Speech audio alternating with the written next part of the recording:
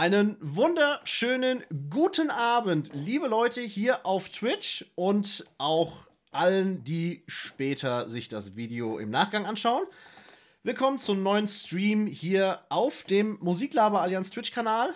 Und äh, schön, dass ihr alle Mann am Start seid und äh, ja, uns auf einen schönen kleinen sehr interessanten und sehr äh, aufschlussreichen Abend sicherlich begleiten werdet. Denn ähm, wie ihr wisst oder wie ihr schon sehen könnt, tatsächlich äh, bin ich nicht alleine hier im, im Podcast-Studio, sondern habe mir illustre Gäste besorgt, denn die Jungs von Sloppy Joes, beziehungsweise zwei Drittel davon, einmal Jesse Garren und Johnny Angel. Einen schönen guten Abend yeah. euch beiden nach Hamburg. Schönen guten Tag. Moin. Moin. Moin. Also sagen wir erstmal hier Prost, ne? Wir haben auch ein kleines Getränk hier. Ja, cheers. Bei mir ist Alkohol Schön, dass wir dabei sein dürfen. Das war auch auf jeden Fall eine der längsten Anmoderationen, die ich je gehört habe. Aber halt ganz Ja, was das angeht, äh, äh, deswegen, bei uns ist immer das Laber in Musik-Laber-Allianz, ne? Wisst ihr ja, ja, Wie, das, wie das funktioniert. Ja, was soll ich sagen? Ähm, erstmal, wie gesagt, Grüße, Grüße Richtung Hamburg. Äh, tatsächlich jetzt die, äh, die zweite Hamburger Band in drei Wochen. Ich weiß nicht, ob ihr die oh Jungs vielleicht sogar kennt. Die Jungs von Hardbone hatten wir vor zwei Wochen. Ja, klar, mit denen haben wir auch schon zusammengespielt und äh, die haben ja quasi so einen kleinen Rekord bei euch aufgestellt und wir versuchen ja. natürlich heute alles dafür zu tun, zumindest äh, den Rekord zumindest einzustellen. Also so viel zu quatschen, so viele Wörter pro Minute rauszuhauen, dass wir das ganze Ding nochmal toppen. Obwohl wir nur zu zweit sind, aber ja. da ist Potenzial. Das wird, das wird dann, wird dann Zweiteiler. Ich war bei der Folge echt am überlegen, hm, machst du Zweiteiler oder machst du nicht? Da kommt da, Attacke. Meine Güte, man sagt ja immer, so eine, so eine gute Podcast-Folge am besten irgendwo zwischen einer Stunde und anderthalb. Ja, okay, schade, knapp.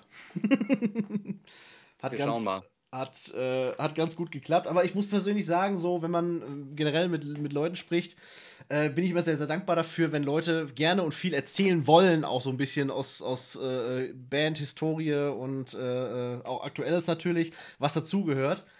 Und ähm, von daher bin ich da immer sehr, sehr dankbar für, weil man erfährt auch immer vieles. Das wollen wir heute gerne ja wiederholen und äh, machen ja nicht nur den Livestream und auch das VOD, sondern starten auch gleich noch in eine quasi Podcast-Folge. Die äh, aufmerksamen Twitch- und YouTube-Zuschauer kennen das hier bereits tatsächlich. Euch habe ich es im Vorfeld schon mal so kurz, kurz erläutert.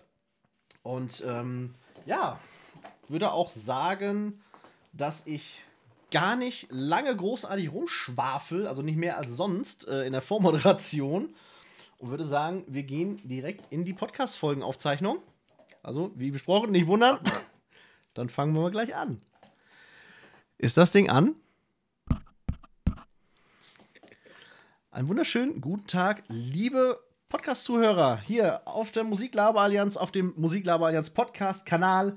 Eine neue Folge, Folge 100, jetzt muss ich überlegen, 63 mittlerweile.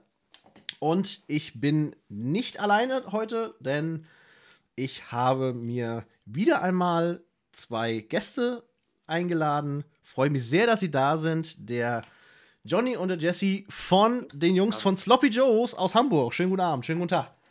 Oh, moin, moin, moin. Schönen guten Abend.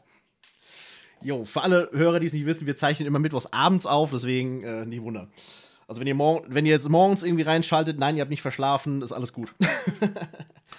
ja, äh, Sloppy Joes, warum, warum sind wir überhaupt hier? Das ist immer so die erste Frage. Und äh, die kann ich ganz einfach beantworten mit Schnickschnack. So.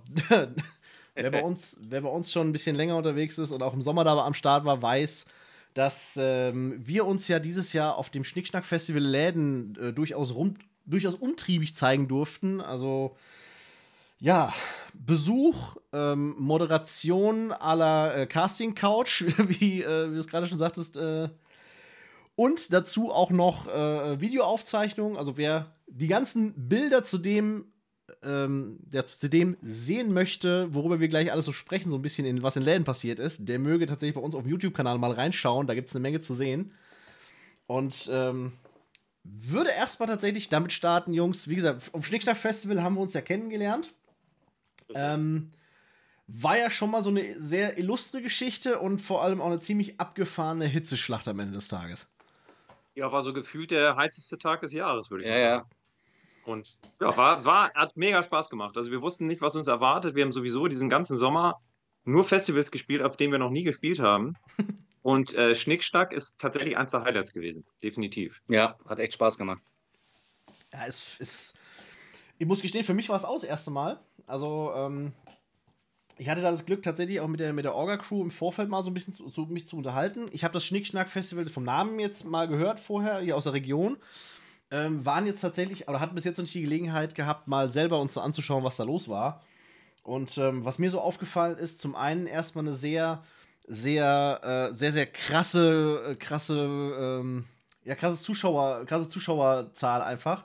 Für das kleine, für das kleine Eck zum einen irgendwie über knapp 1000 Leute, die da insgesamt auf dem Gelände waren, was ja etwas langgezogener war, aber durchaus sich dann doch verlaufen hatte. Und vor allem waren die Leute auch extrem, extrem krass drauf und extrem gut auch drauf. Ne? Also da war schon richtig Rambazamba los. Ja, vor allem äh, so früh, ne? Also das war, glaube ich, auch frühestes Slot, den wir je. Nee, der zweitfrüheste Slot. Ja, ja, wir waren also, schon mal früher dran. Wir, wir haben mal 8 Uhr morgens und 8 Uhr, ja. ja 8 Uhr gespielt. Das war ein Erlebnis, aber das war auch schon relativ früh und war, die Leute waren schon gut drauf, ja. Einige waren auch sehr gut drauf. Also die waren wahrscheinlich zu früh schon zu gut drauf. Die lagen ja. dann nämlich draußen äh, vorm Eingang bei den Sunnies auf der Wiese. Einige. Aber ja. man darf ja auch die Hitze nicht vergessen. Ja, genau, die Sonne war, die, die Sonne war einfach zu krass. Also das hat nichts mit Getränken zu tun, das war die Sonne. Ja. Genau, genau das war das tatsächlich, äh, was ich auch so ein bisschen, was ein bisschen befürchtet hatte, nachdem ich den Wetterbericht gesehen hatte. Und äh, war tatsächlich auch eine Sache, die wir immer wieder äh, die wir immer wieder äh, tatsächlich auch betont hatten. Der Micha von Mucke spricht soziale Grenzen und meine Wenigkeit, wir durften ja äh, die, die Moderation da so ein bisschen machen, dass wir die Umbaupausen ein bisschen weggelabert haben, was auch ganz gut geklappt hat. Und äh, auch das war mir tatsächlich auch schon Anliegen zu sagen, hey Leute, trinkt auch mal ein Wasser, trinkt auch mal, was weiß ich, eine Cola oder sonst irgendwas, aber nicht nur äh, euch Bierchen reinzimmern, weil das geht irgendwann in der Buchse, gerade bei den Temperaturen. Die, die, die Orga-Crew, die hat ja auch schon dafür gesorgt, da hing ja so ein hing ja so Netze und allen drum dran, dass du ein bisschen mehr Schatten noch äh, kriegen konntest, dass die Leute sich auch mal ein bisschen in den Schatten stellen konnten. Aber ja, was ihr schon sagtet, der einen oder anderen äh, hat die Sonne dann doch ein bisschen gestochen, glaube ich. Es muss auch krass gewesen sein. Also dieses, dieses Netz, das war ja so, wirkt ja so, sah so ein bisschen nach Army aus, irgendwie Army-Tarnnetz, aber ja. das war ja nur im hinteren Bereich und immer wenn die Leute vor die Bühne gekommen sind, zum, in den Pit, da war, glaube ich, Schme da war, glaube ich, Schmelztiegel. Also da war ja. irgendwie, weiß ich nicht, gefühlt 80 Grad vor der Bühne. das war, das war definitiv Hot Stuff. Ich habe hab noch gesagt, ich sag, wir hatten noch das, wir hatten da noch Schwein gehabt und das Glück halt, dass wir wirklich viel hinten saßen, eben auch mit dem, mit dem, mit der Couch und mit dem Pavillon und alles. Und alter, alter Falter, ich sag, die Leute sind natürlich auch steil gegangen. Ich meine, klar, zum einen, äh, ihr habt auch mega geile Stimmung gemacht, das ist auf jeden Fall aufgefallen. Klar, okay, Homebase natürlich, klar, Heimspiel für Zivilcourage, die dann da richtig Gas gegeben haben. Und äh, als, als, ja, im Prinzip war der Schlusspunkt, aber halt irgendwie um 7 oder 8 Uhr, glaube ich, haben sie gespielt, JBO dann zum Schluss als Headliner. Äh, so, die Leute, du hast genau gesehen, die Leute haben da alles gegeben, aber die waren auch froh irgendwo, in Anführungszeichen, wenn dann fertig war, dass sie sich erstmal wieder in Schatten verkrümeln konnten. Weil äh, der eine oder andere doch echt alles und noch viel mehr gegeben hat. Das, äh, das ist so. Ja. Aber es war, es war cool. Es hat echt Laune gemacht. Und ähm, wir wissen ja nicht, wie lange es noch geht. Das war jetzt das zehnjährige Jubiläum. Ich weiß, nächstes Jahr ist schon ein Termin wieder bestätigt. Richtig. Aber wer weiß, vielleicht tauchen wir da in geraumer Zeit irgendwann auch mal wieder auf. Wir würden uns auf jeden Fall freuen. Also wir sind gespannt. Wird wäre auf jeden Fall eine feine, eine feine Sache tatsächlich. Ist für uns leider Gottes schade, dass wir diese, nächstes Jahr nicht dabei sein können, weil es eine ziemlich ja, unglückliche Terminkollision damit gibt mit dem anderen Festival auch hier aus der Region, wo wir auch dieses Jahr, äh, äh, sag ich mal, unser Unwesen getrieben hatten. Äh, und zwar fällt das leider zeitgleich mit dem Bruch oben eher in, äh, in Bippen tatsächlich, beziehungsweise Ket im Kettenkamp heißt es ja. Äh, das genau. ist natürlich ein bisschen schade gelaufen. Ähm, ich habe mir sagen lassen, äh, auf dem Schnickschnack soll auch wohl, also das muss der Headline muss wohl ein riesengroßer Name sein mit dem Termin, mit der terminlichen Geschichte. Mal gucken, was da kommt. Ähm, und äh, also leider schade, da sind wir dann beim, beim BOA dann tatsächlich zugegen. Aber, Aber äh, die, die ist mit höchster Wahrscheinlichkeit, ich will da jetzt nicht zu viel verraten, aber es kann durchaus sein, dass wir uns an dem Tag dann doch zufällig wieder über den Weg laufen. Ganz ehrlich, ich habe dieses Jahr, ich habe dieses Jahr so viele, so viele Zufälle erlebt in dem ganzen Ding, ja, in dem ganzen, was Musikfestivals angeht. Ja. Äh, ich rechne mit allem und äh, mal gucken, was passiert. ja, äh, von Festival, im Festival kennengelernt. Ähm, was soll ich sagen, ähm, bevor ich jetzt da groß einen langschwafel, erzählt doch mal so ein bisschen, stellt euch doch mal so ein bisschen vor, wer ihr seid, für alle, die euch nicht kennen. und äh, einfach mal so ein bisschen grob mal so, mit wem die Leute es so zu tun haben in Bild und auch in Ton im Podcast. Ja, fangen wir doch mal an. Wir sind, wie gesagt, Sloppy Joes aus Hamburg, Rockband aus Hamburg. Ich bin Johnny Angel, spiel Bass. Jesse Garin, Gitarre, Gesang. Ja, und äh, unser Schlagzeuger ist heute nicht dabei. Er ist ein bisschen kleiner, der ist hier unten. da sind wir heute nur zu zweit. Ja, der hat auch kein Mikro gekriegt. Aber ähm, ja, im Moment ist es tatsächlich so, äh, also wir haben als Trio angefangen und unser äh, langjähriger Schlagzeuger Patsy Davy, mit dem wir zwölf Jahre lang großartige Konzerte gespielt haben, hat äh, tatsächlich letztes Jahr im Herbst äh, die Band verlassen. Hm. Und äh, aktuell sind wir immer noch auf Schlagzeugersuche, haben aber äh, die coolerweise so viele coole Drummer in unserem Netzwerk, dass es kein Problem für uns war, die Shows zu spielen jetzt im Sommer. Mhm. Also wir sind aktuell mit einem Session-Drummer unterwegs, der auch Schnickschnack gespielt hat. Ähm, die Rode. Ja, und so gesehen, äh, ja, aber natürlich würden wir uns irgendwann freuen, wieder in voller Besetzung, beziehungsweise wieder ein, ein zu hundertprozentiges drittes Bandmitglied zu haben an der Stelle. Ja.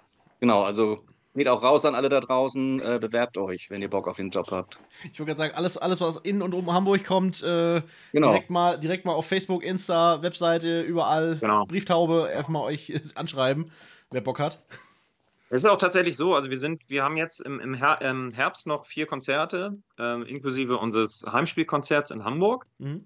Ähm, und dann ist erstmal bis bis März wieder Pause und dann geht es wieder neu los. Also wenn wir es irgendwie, also unser Ziel ist es schon zum Ende des Jahres dann tatsächlich den neuen dritten Mann an Bord zu haben und ähm, voll einzuarbeiten. Aber wer Interesse hat, könnt ihr auch gern, also wer von euch ein Interesse hat, kann auch gern eine E-Mail an drums at sloppy-joes.de schicken. Siehste, das ist, also ich sag mal, ist immer Novum. Wir haben viele, wir haben viele Novum oder Neuigkeiten, neue Dinge ausprobiert, aber dass wir jetzt neuerdings auch schon äh, äh, Muckervermittlung ist nochmal anders wild. ja, man weiß ja nie, wer zuhört oder zuschaut, ne? Und äh, so. ja, vielleicht klappt es auf jeden Weg, ne? Ist so, auf jeden Fall. Es gibt unfassbare Zufälle. Aber ähm, um es nochmal noch abzurunden, wir sind tatsächlich nicht verzweifelt, weil wir ja, wie du ja auch beim Schnickschnack Festival gesehen hast, absolut live spielfähig sind. Also letztendlich ist alles cool, aber wir haben noch nicht den perfekten dritten Mann gefunden. Also wir sind da auch echt tatsächlich, also haben auch einen sehr hohen Anspruch, das muss man dazu sagen. Also es ist natürlich nach zwölf Jahren zusammen, äh, immer die gleichen Leute, ähm, ist das natürlich ist das natürlich eine neue Herausforderung, mhm. dann jemanden zu finden, der da die Fußstapfen so in die Fußstapfen treten kann ich wollte sagen, es ist, ist ja ganz normal. Ne? Das muss ja auch passen und äh, man geht ja. sich ja auch im Optimalfall, wenn man auch mehr unterwegs ist oder so, geht man sich ja auch oft genug auf den Geist sozusagen, weil ja. man ja auch viel, viel dann reist und unterwegs ist. Und äh, da muss das, muss das auf jeden Fall passen, auf jeden Fall. Genau, ähm, aber jetzt, jetzt, haben wir, jetzt haben wir schon, weil wir waren ja gerade in der Vorstellungsrunde. Richtig. Ähm, ich würde da ganz gern noch, gerade für alle Leute, die uns jetzt das erste Mal sehen oder das erste Mal hören, noch mal ein bisschen ausholen. Also wir haben tatsächlich angefangen ähm, 2011 Mhm. Haben uns dann zu dritt äh, in unseren Proberaum eingesperrt und wirklich die ganze Zeit Songs reingeprügelt, geprobt, wie die Bekloppten sozusagen. Also wirklich uns Zeit genommen, das zu perfektionieren, das, was wir tun auf der mhm. Bühne. Und haben dann 2013 angefangen, äh, eine Secret Show in Hamburg zu spielen. Also mhm. es war eine, ein geheimes Konzert. Keiner wusste, dass wir dort spielen. Das war auf einer, einer Party in Anführungsstrichen im Indra Musikclub. Ähm, der Indra Musikclub ist neben dem Grünspann in Hamburg und das ist tatsächlich der erste Live-Club, in dem in Deutschland die Beatles gespielt haben. Oh. Das erste Mal.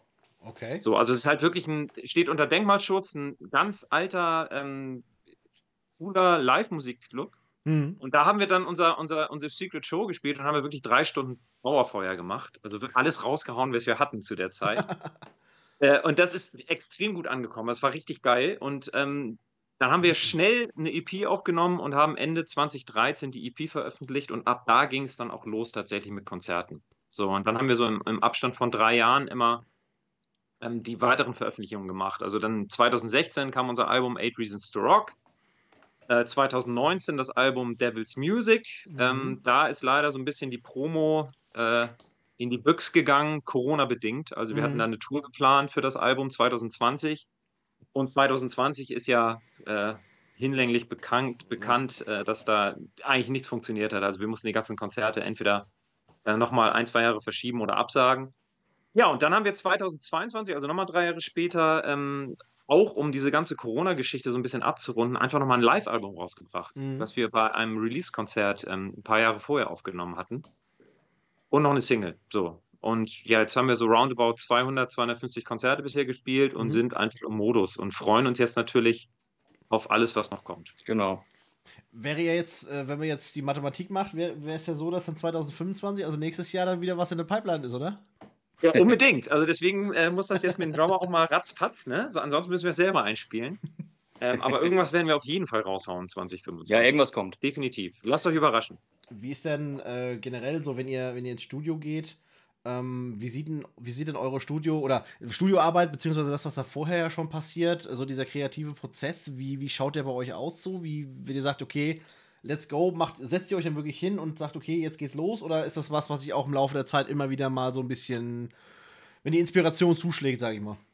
Es ist tatsächlich so, dass wir das, äh, was wir im Studio machen, das ist äh, vorher schon live gespielt sozusagen. Ja, also es ist okay. wirklich so, dass wir die Musik, ähm, wir gehen nicht ins Studio und sagen, wir machen jetzt ein Album, setzen uns hin und dann überlegt ihr, was könnte man machen, wie wir mhm. das zusammenbauen und dann gleich aufnehmen. Nein. Äh, wir haben das mindestens im Proberaum bis zum Erbrechen durchge durchgeprügelt, weil wir die Musik eben auch bewusst so aufnehmen wollen, wie wir sie live spielen würden. Okay. Und das war tatsächlich bisher immer so. Also wir, wir proben die Dinger erst als Band so ein, dass wir sie live spielen können und dann mhm. gehen wir ins Studio, um sie aufzunehmen, die Sachen. Oh, spannend. Hat auch den Vorteil, dass wir dann tatsächlich live so klingen wie, im, wie auf dem Album. Also das ist, äh, ist ja heutzutage auch wirklich bei ganz vielen Bands, wenn man jetzt auch gerade moderne Produktionen sich anguckt, ähm, gängiger Rockbands aktuell, dass die unfassbar krass ausproduziert sind mit, mit hunderten mhm. von Spuren, die krassesten Backing-Tracks und, und äh, ähm, irgendwelche Keyboards, gedoppelte Gitarren und so weiter. Und dann siehst du die Band auf der Bühne und äh, es klingt auf einmal ganz anders, weil sie natürlich diesen Sound dann auch nicht nicht auf die Bretter bringen können. Und äh, uns ist es einfach wichtig, weil wir einfach auch selber äh, für diese Bands äh, ähm, brennen, also selber für diese Live-Bands brennen, wie, wie ACDC, wie Iron Maiden, wie, wie Kiss, ähm, also Bands, die wirklich auch ihren unverfälschten Sound auf die Bühne bringen, mhm. ähm, ist uns eben wichtig, das genauso zu machen. Ne? Also wenn wir selber merken, wir klingen, ey, wir klingen genauso, wie wir klingen wollen, äh, dann merkt das das Publikum auch und dann springt auch der Funke schneller über. Ja. Lust, aber gut, äh, lustig, dass du das ansprichst, weil tatsächlich wäre das so ein bisschen mein Einhaken auch gewesen bei der, bei der Live-EP tatsächlich, wo ich auch dachte so, oh, okay, ist also Live und Platte ist jetzt nicht so weit voneinander weg. Auch das, was ich natürlich auf dem Schnickschnack gehört habe, was jetzt leider Gottes dem Terminplan so ein bisschen geschuldet, also Luxusproblem, äh, war natürlich leider nicht alles war, aber das, was ich gehört habe, so das, das, das passte schon so zusammen und äh, du hast es gerade ganz gut gesagt. Äh, auch wenn ich diese Bands zum Beispiel komplett neu irgendwo das erste Mal höre, gut, erstmal muss es mich live überzeugen, muss mich live, muss mich das hooken, also ich jetzt persönlich in meinem, in meinem Falle. So, dass ich dann sage, okay, die, die haben jetzt live mir so, so, die, so die Fresse poliert auf gut Deutsch. Äh, okay, was ist mit denen? Was können, können die auch, äh, ist das, ist, wenn die live schon überzeugen, dann muss das auf Platte ja auf jeden Fall Minimum ja genauso geil sein. Oder andersrum, gibt es ja auch genug, die mal über, über Alben stolpern. Ich sage jetzt mal heutzutage Spotify und Konsorten ist ja nichts Neues, dass das immer einfach in die, in die, irgendwo reingespült wird, so als, als Vorschlag oder wie auch immer. So, dann hörst du die, hörst die Mucke, was du auch gerade sagtest, bist dann aber total desillusioniert und enttäuscht, weil das ein, nur ein Bruchteil von dem ist, was du da zu hören bekommst, wo du auch denkst, ja, hm, okay, toll, schade, scheiße. Ja, das ist, ist genau. Ja, also das ist unser Prinzip, ne? Wir würden nie was aufnehmen, was wir nicht auch live so rüberbringen können. Mhm. Ja. Finde ich, find ich einen coolen Ansatz. Also live, erstmal live äh, direkt schon spielen und, und machen, um dann es erst aufzunehmen, habe ich jetzt ja. so auch noch nicht so oft gehabt. Also tatsächlich so, dass mir das berichtet worden ist. So finde ich, finde ich, finde ich ganz spannend.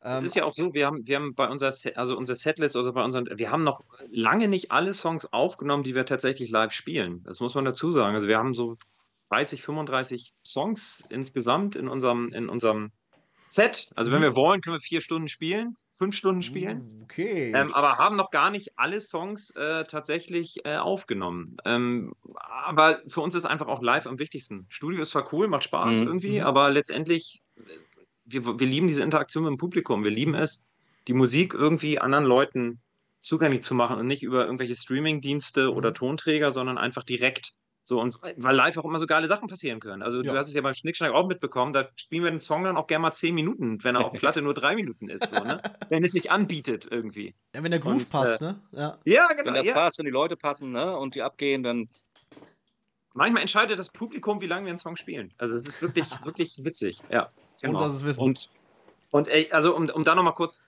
kurz einzuhaken, äh, ich, ich war vor kurzem, also gerade letzte Woche, durch Zufall auf einem spontanen Akustikkonzert eines äh, US-amerikanischen Sängers, Ray Dalton heißt der. Mhm. So ein Soul-Rock-Pop-Sänger. Und der hat da nur mit Akustikgitarre, also hat den Akustikgitarristen und hat selber gesungen. Und die haben mhm. nur auf Akustikgitarre vier Songs gespielt. Mhm. So. Fand ich total geil, weil der hat eine grandiose Stimme gehabt, das war super arrangiert. Und dann dachte ich danach, okay, das hat mich echt überzeugt, jetzt höre ich mal ins Album rein. Dann habe ich ins Album reingehört und habe nach zehn Sekunden gedacht, scheiße. Hätte ich bloß nicht in das Album reingehört, weil das war komplett überproduziert, ja. krasseste Filter auf dem Gesang, alles ja. gedoppelt, Backings, mega arrangiert. Ich dachte so, ey, dieses rohe, authentische mhm. ist doch viel geiler. Das, das geht doch viel mehr in die, ins Herz, viel mehr in die Seele, viel mehr in die Beine irgendwie. Ja. Und ähm, ja, wir sind da. Also ich, ich glaube, es gab da so ein, so ein, so ein, es gab einfach so ein, so ein Wechsel in der Art und Weise, wie Musik produziert wird oder auch wie sie wahrgenommen wird. Also es muss alles laut sein, es muss alles komplett glatt sein, es muss alles verdichtet sein. Aber so dieses rohe, normale, authentische Live, ähm, das ist, es ist, ja, das ist, ist vielen Leuten gar nicht mehr so, so im, ja, gängig im, im Kopf, was das überhaupt bedeutet, was das auslösen kann vor allem, was ich so traurig finde, weil ich persönlich, ich, muss, ich, bin da, ich bin da voll bei dir. Ich meine, ich bin so ein bisschen, ich bin so ein bisschen, bin da bei dir grundsätzlich, ja es kommt aber ein bisschen darauf an, wo ich sage, worauf, worauf habe ich jetzt Lust, was zu hören. Wenn ich sage, ich habe jetzt mal Bock auf was richtig ab, also ein bisschen, ein bisschen auch abgefahreneres oder so. Ich sage jetzt mal in Metal-Richtung, ich sage jetzt mal Symphonic Nightwish, klar, dass du dann tausend Backings hast, dass du zig Elemente drin hast, ist auch wieder geil, ja. weil du sagst, oh, du, du, du, entdeckst immer noch was Neues und so, aber das ist dann das, wo du sagst, bewusst sagst, ich höre das jetzt, weil das eben generell so ist in, in dem Ding. Wenn du sagst, ich habe jetzt Bock auf einen richtig schön derben, dreckigen Rock'n'Roll, zum Beispiel, äh, dann höre ich mir eher, oder derben dreckig in Anführungszeichen, ne? dann höre ich mir was an, dann höre ich, hör ich mir bei euch, euch das an, dann höre ich mir, was ich, Moto Jesus an, Godsnake, auch nochmal ein Hamburger Jungs, ja. Grüße gehen raus.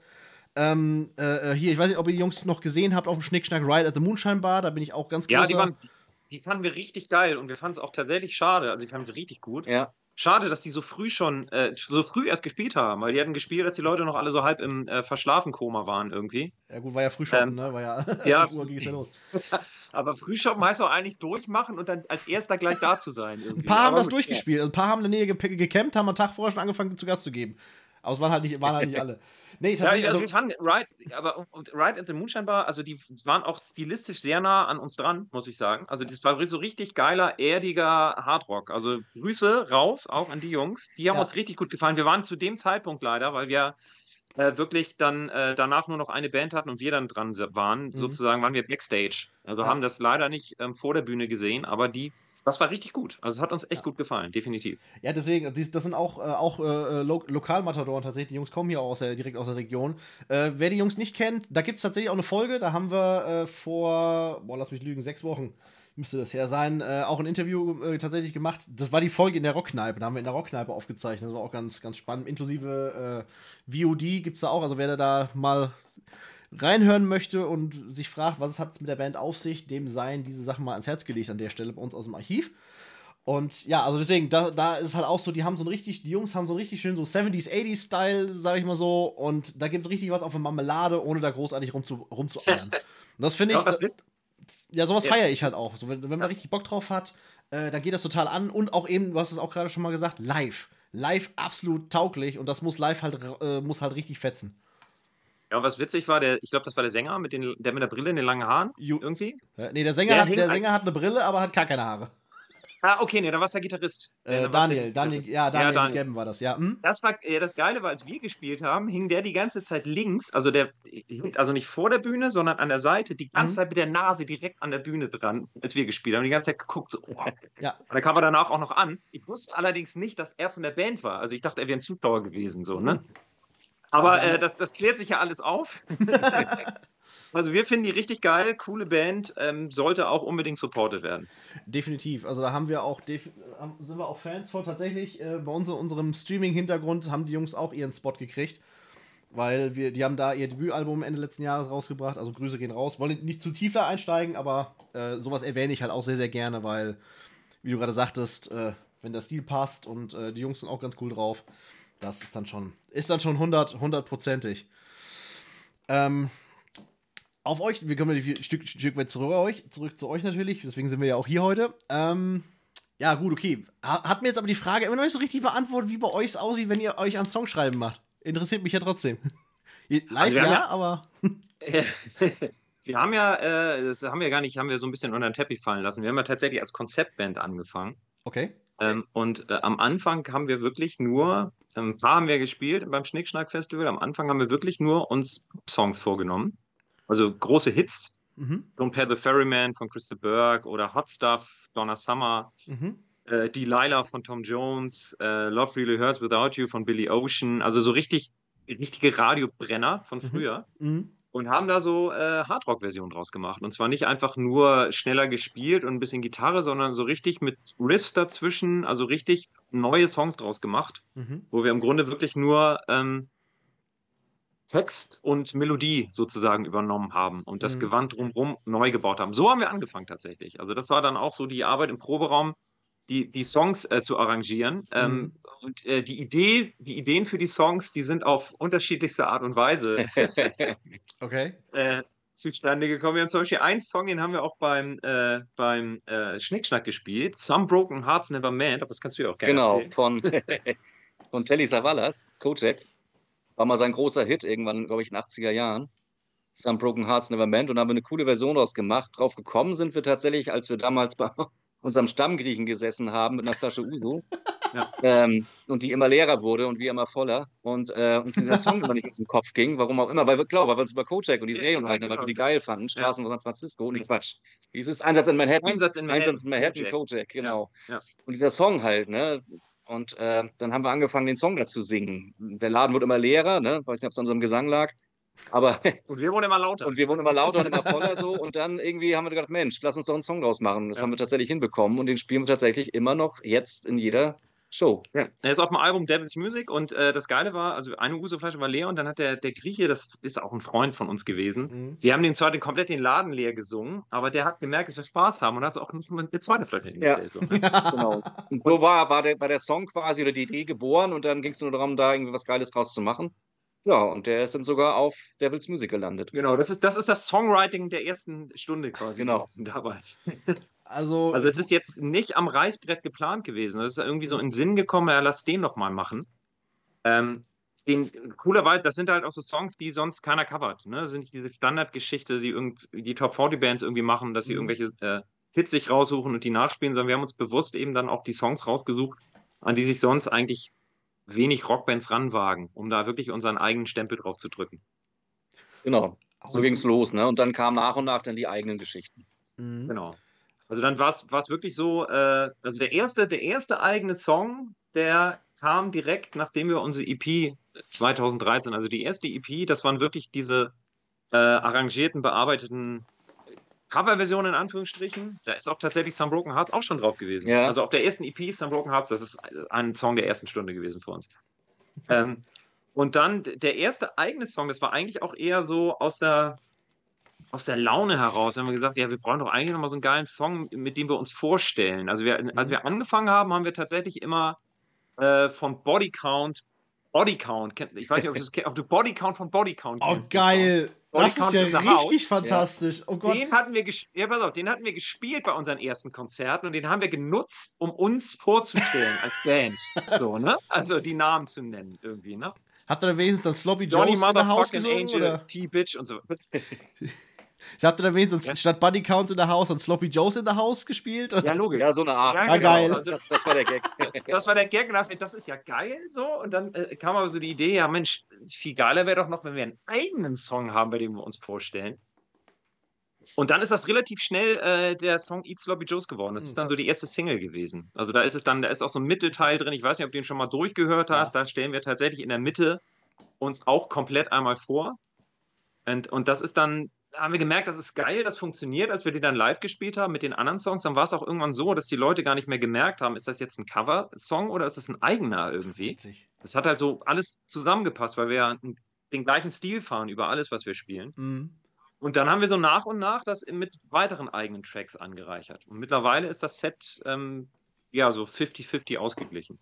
Wobei die Tendenz da ist, äh, von Veröffentlichung zu Veröffentlichung immer tatsächlich noch mehr eigene zu machen. Also was mir, was mir musikalisch am besten oder am, am besten gefällt, schrägstrich am meisten aufgefallen ist, wir hatten es ja gerade gesagt, gesagt, schon so Thema, wenn man mal ein bisschen, wenn es mal ein bisschen derber sein darf, äh, da feiere ich sehr, sehr den äh, Lonesome Number One, feiere ich da sehr, ja. weil ich einfach dieses, dieses brettharte Gitarrenriff am Anfang, was mich wiederum aber ein Stück vom, ich, ich, ich glaube, unbeabsichtigt, war aber vom Sound, also der Gitarrensound als solcher, äh, eins zu eins äh, den, den Volbeat beim, äh, beim allerersten Album drauf hatten. The Strength, The Sound, the Schieß mich tot. 2005 von 2005. Das war, das war fast, fast, das war fast der, fast der gleiche, also der, teilweise kurz mal fast der gleiche, gleiche, das gleiche Riff ganz kurz, der gleiche, gleiche Akkord oder so. Äh, deswegen, da bin ich direkt hängen geblieben. Und dann war da richtig schön brachial und das Ding schiebt ja richtig durch von vorne bis hinten. Ja, das, das, der Witz ist, das sagen, es sagen ganz viele, auch weil, weil mein Gesangsstil äh, sich ähnlich anhört, sagen ganz viele, dass wir irgendwie Wohlbeat versuchen nachzumachen. Das ist völliger Blödsinn. Nee, also so weit wollte ich es ähm, nicht treiben. Also mir ist das, nee, der, der nee. ist mir halt aufgefallen, weil das halt mich unfassbar ja. daran kurz erinnert, weil der halt, wie gesagt, der Gitarrensound muss derselbe, dieselbe selbe Gitarrensound sein, keine Ahnung. Da habe ich gedacht, alter, krass, aber hat mir dann, weil dann merkt man ja auch recht schnell, dass es was anderes geworden wird, na klar. Aber äh, wer, so, wer, wer brachialer mag, ich glaube, da ist man damit schon ganz gut unterwegs, würde ich sagen.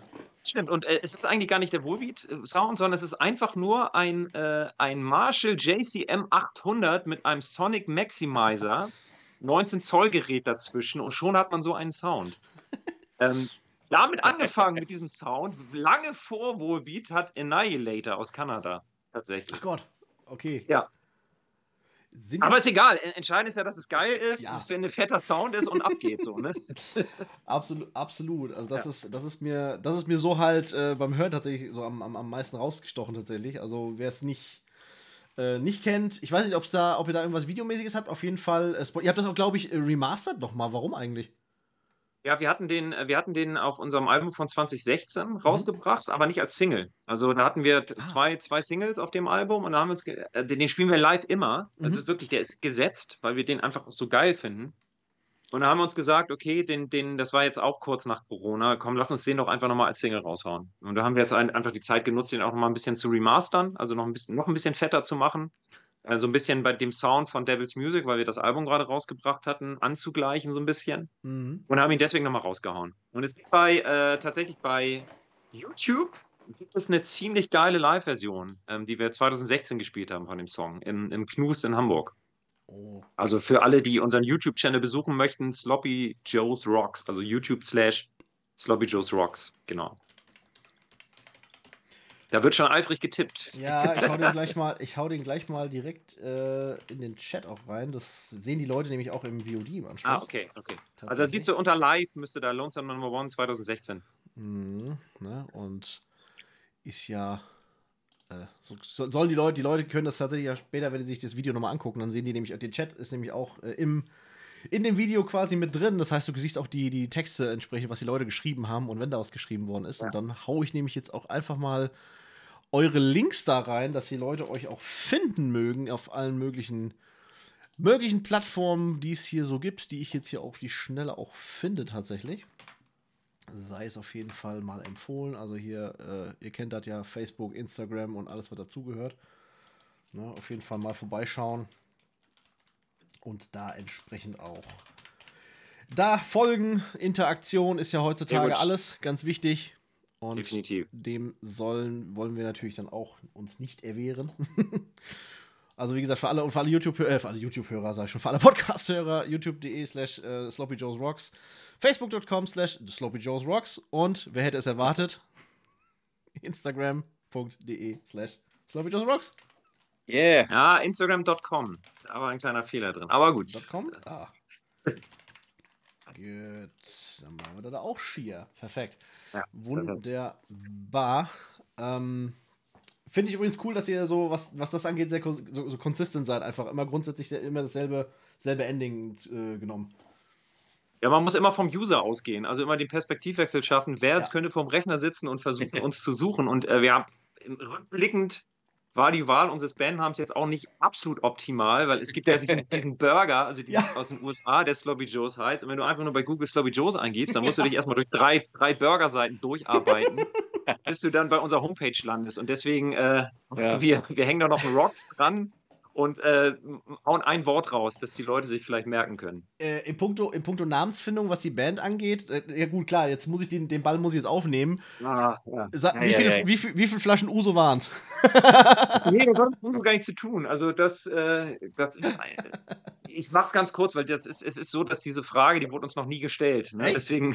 Du bist der Erste, wirklich. Der, absolut, der absolut Erste, der fragt, warum wir so heißen. Die Musiklabor-Allianz, äh, investigativer Journalismus. Ja, ja, ja, ja durch und durch. Gut vorbereitet, definitiv. Ähm, nee, es ist ja so, äh, es gibt, Sloppy Joes, es gibt die Bar in Key West, also in, in äh, Florida. Ne? In der Bar war Ernest Hemingway, der Schriftsteller, der zum Beispiel Der alte Mann und das Meer geschrieben hat, mhm. Stammgast und hing da die ganze Zeit am Tresen, hat sich einen reingebraten.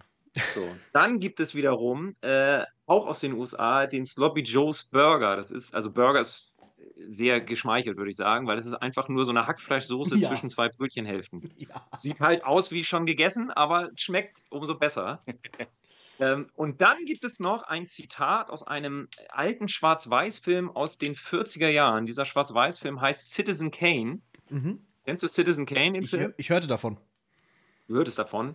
Von Orson Welles. Äh, Orson Welles, äh, ganz bekannter Filmemacher und Schriftautor von früher, Regisseur auch, der tatsächlich in den 80er Jahren noch mal kurzzeitig mit Manowar zusammengearbeitet hat. Okay. Ähm, und äh, in diesem Film Citizen Kane, da ist es tatsächlich so, dass äh, dort ein Zitat äh, passiert. Und dieses Zitat dreht sich um den Namen Sloppy Joes, beziehungsweise mhm. der Name Sloppy Joes fällt kurz. Und jetzt will ich gar nichts mehr dazu sagen. Ich würde einfach nur die Hörer und Zuschauer bitten, schleunigst zu gucken, wo es Citizen Kane äh, im Streaming gibt oder in der äh, DVD-Thek oder Videothek, gibt es gar nicht mehr, oder äh, bei irgendwelchen Händlern, äh, Second-Hand-Händlern, diesen Film gibt, äh, um dann herauszufinden, in welchem Kontext dieser Name in Erwägung tritt. Ja.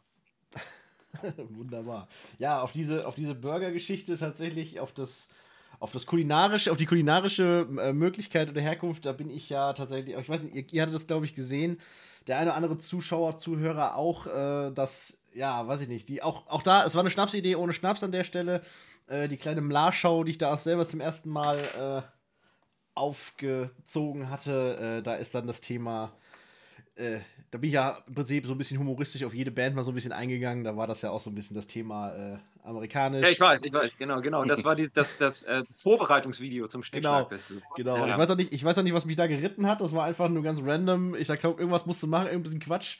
Das passte so gut in den ganzen Kosmos irgendwie so ein bisschen. Und da ihr dann auch, ihr ja auch so äh, Videospezialisten äh, äh seid und ja echt coole, coole Videos macht, so gerade im Vorfeld von Veranstaltungen und so weiter, äh, hatte ich mich tatsächlich da so, dadurch so ein Stück weit animiert gefühlt tatsächlich. Durch äh, Schnick, Schnack, Shirt wahrscheinlich, ja, ne? ganz genau. Ja. Und da habe ich gedacht, ja, ja. Jetzt, jetzt musste, irgendwie musste Quatsch machen und dann ging das auch los mit Gags schreiben und so ein bisschen und ja, von, ich, aber ich fand's lustig, das war die Hauptsache. Das hat, sich, das hat sich bei uns jetzt äh, auch eigentlich auch erst so in diesem Sommer entwickelt, dass wir immer diese geilen Videos vor der grünen Wand machen. Ja, das war irgendwie ein Zufall. Wir haben angefangen, ja. das sieht ja echt lustig aus und dann machen, machen wir doch mal weiter. So, jetzt ja. sind es, glaube ich, schon vier oder fünf Videos, die wir da gemacht ja. haben. Finde ich, ja, ist witzig. Finde ich mega, das mega freuen sich immer größerer Beliebtheit. Also es ist, äh, also wer, wer das gerne sehen möchte, äh, guckt auf unser Instagram-Account. Definitiv. Noch überlegt, dann irgendwann so eine Compilation rauszubringen, die Green Wall, äh, Best, of. Best of Green Wall. Mal Best gucken. of Green Wall. So aus 2024 ja. dann so dann jahresweise und so weiter. Das klingt doch, klingt doch vernünftig. wir, sind, wir sind noch lange nicht am Ende, ne? Da kommt noch einiges. Da kommt noch einiges. Ja, deswegen, also 2025, wie gesagt, also der, ich will ja keinen Druck machen, aber die, es ist Zeit, ne, Freunde? Es ist aber noch 2024. Äh, 25 ist noch nicht, ne? Also ja, ist noch ein bisschen. Zwei so ein bisschen Luft ist noch. Ein bisschen, bisschen ist noch. Nein, natürlich, man, man, man giert natürlich immer auch ein bisschen nach neuem Material, man ist ja immer neugierig so.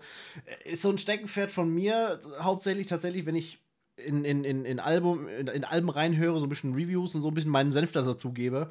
Äh, was ich immer sehr, sehr spannend finde, ist, wenn du halt wirklich in den, innerhalb der Alben so eine gewisse Entwicklung auch erkennst, so ein bisschen. Jetzt nicht, dass einer das Rad neu erfinden muss, aber so ein bisschen, du merkst so, okay, ab einem gewissen Punkt, irgendwann ist der Stil so ein bisschen gefunden worden und dann merkt man auch sofort, dass viele sich dann in diesem Stil dann erst anfangen, richtig auszubreiten und dann richtig, und dann kracht es erst richtig auf den, auf den Platten dann so ein bisschen. Und äh, von daher bin ich immer sehr, da sehr, sehr neugierig und sehr gespannt, was da kommt. Und wenn da was kommt, wenn es soweit ist, werden wir darüber reden, finde ich. Definitiv, auf jeden Fall. Sollten wir auf jeden Fall, auf jeden Fall tun.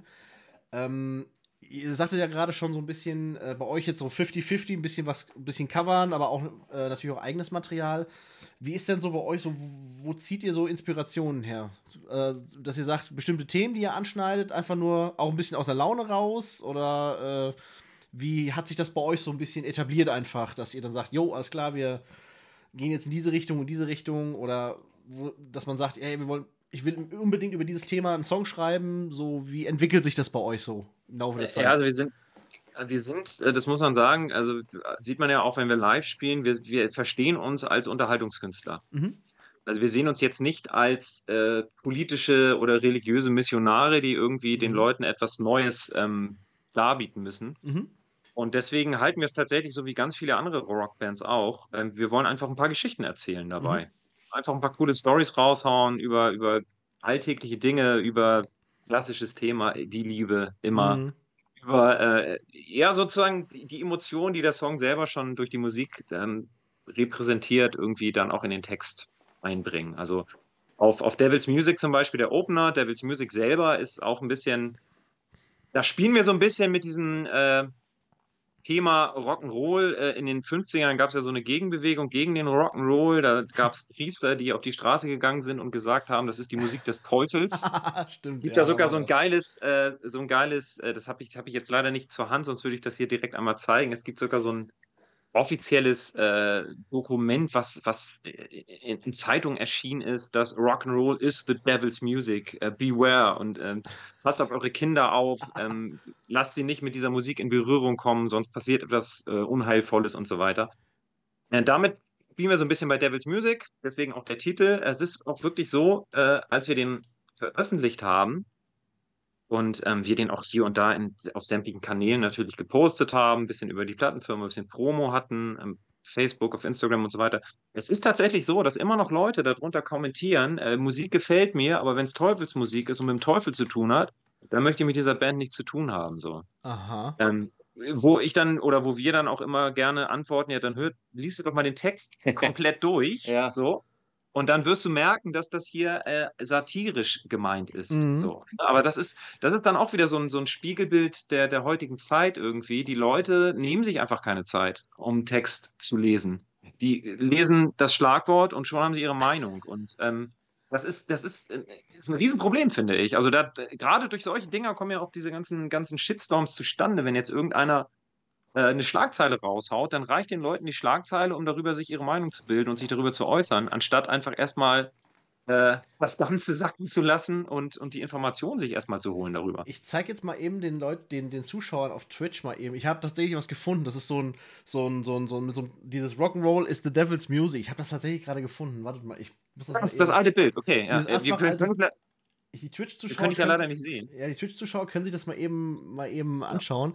Also hier habt ihr halt Rock'n'Roll is the Devil's Music, Beware, the hypnotic voodoo rhythm, a reckless dance down the devil's road of sin and self-destruction, leading youth to eternal damnation in its fiery depths of hell.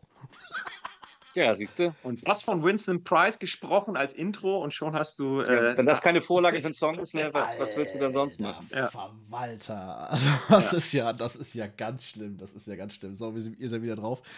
Ich musste das mal eben kurz suchen. Das, das war jetzt, das musste ich jetzt eben wissen. Also ganz, ganz wild. Ganz, ganz, ganz. Aber das, also das ist halt so das Ding, ne? Also es ist, man muss einfach nur ein bisschen gucken, Augen aufmachen. Es, es laufen einem so viele Dinge über den Weg, äh, aus denen man schnell mal einen Song machen kann. Mhm. Das ist halt ein gutes Beispiel dafür. Ja, ja schon, schon kurios, ne? Also Wahnsinn.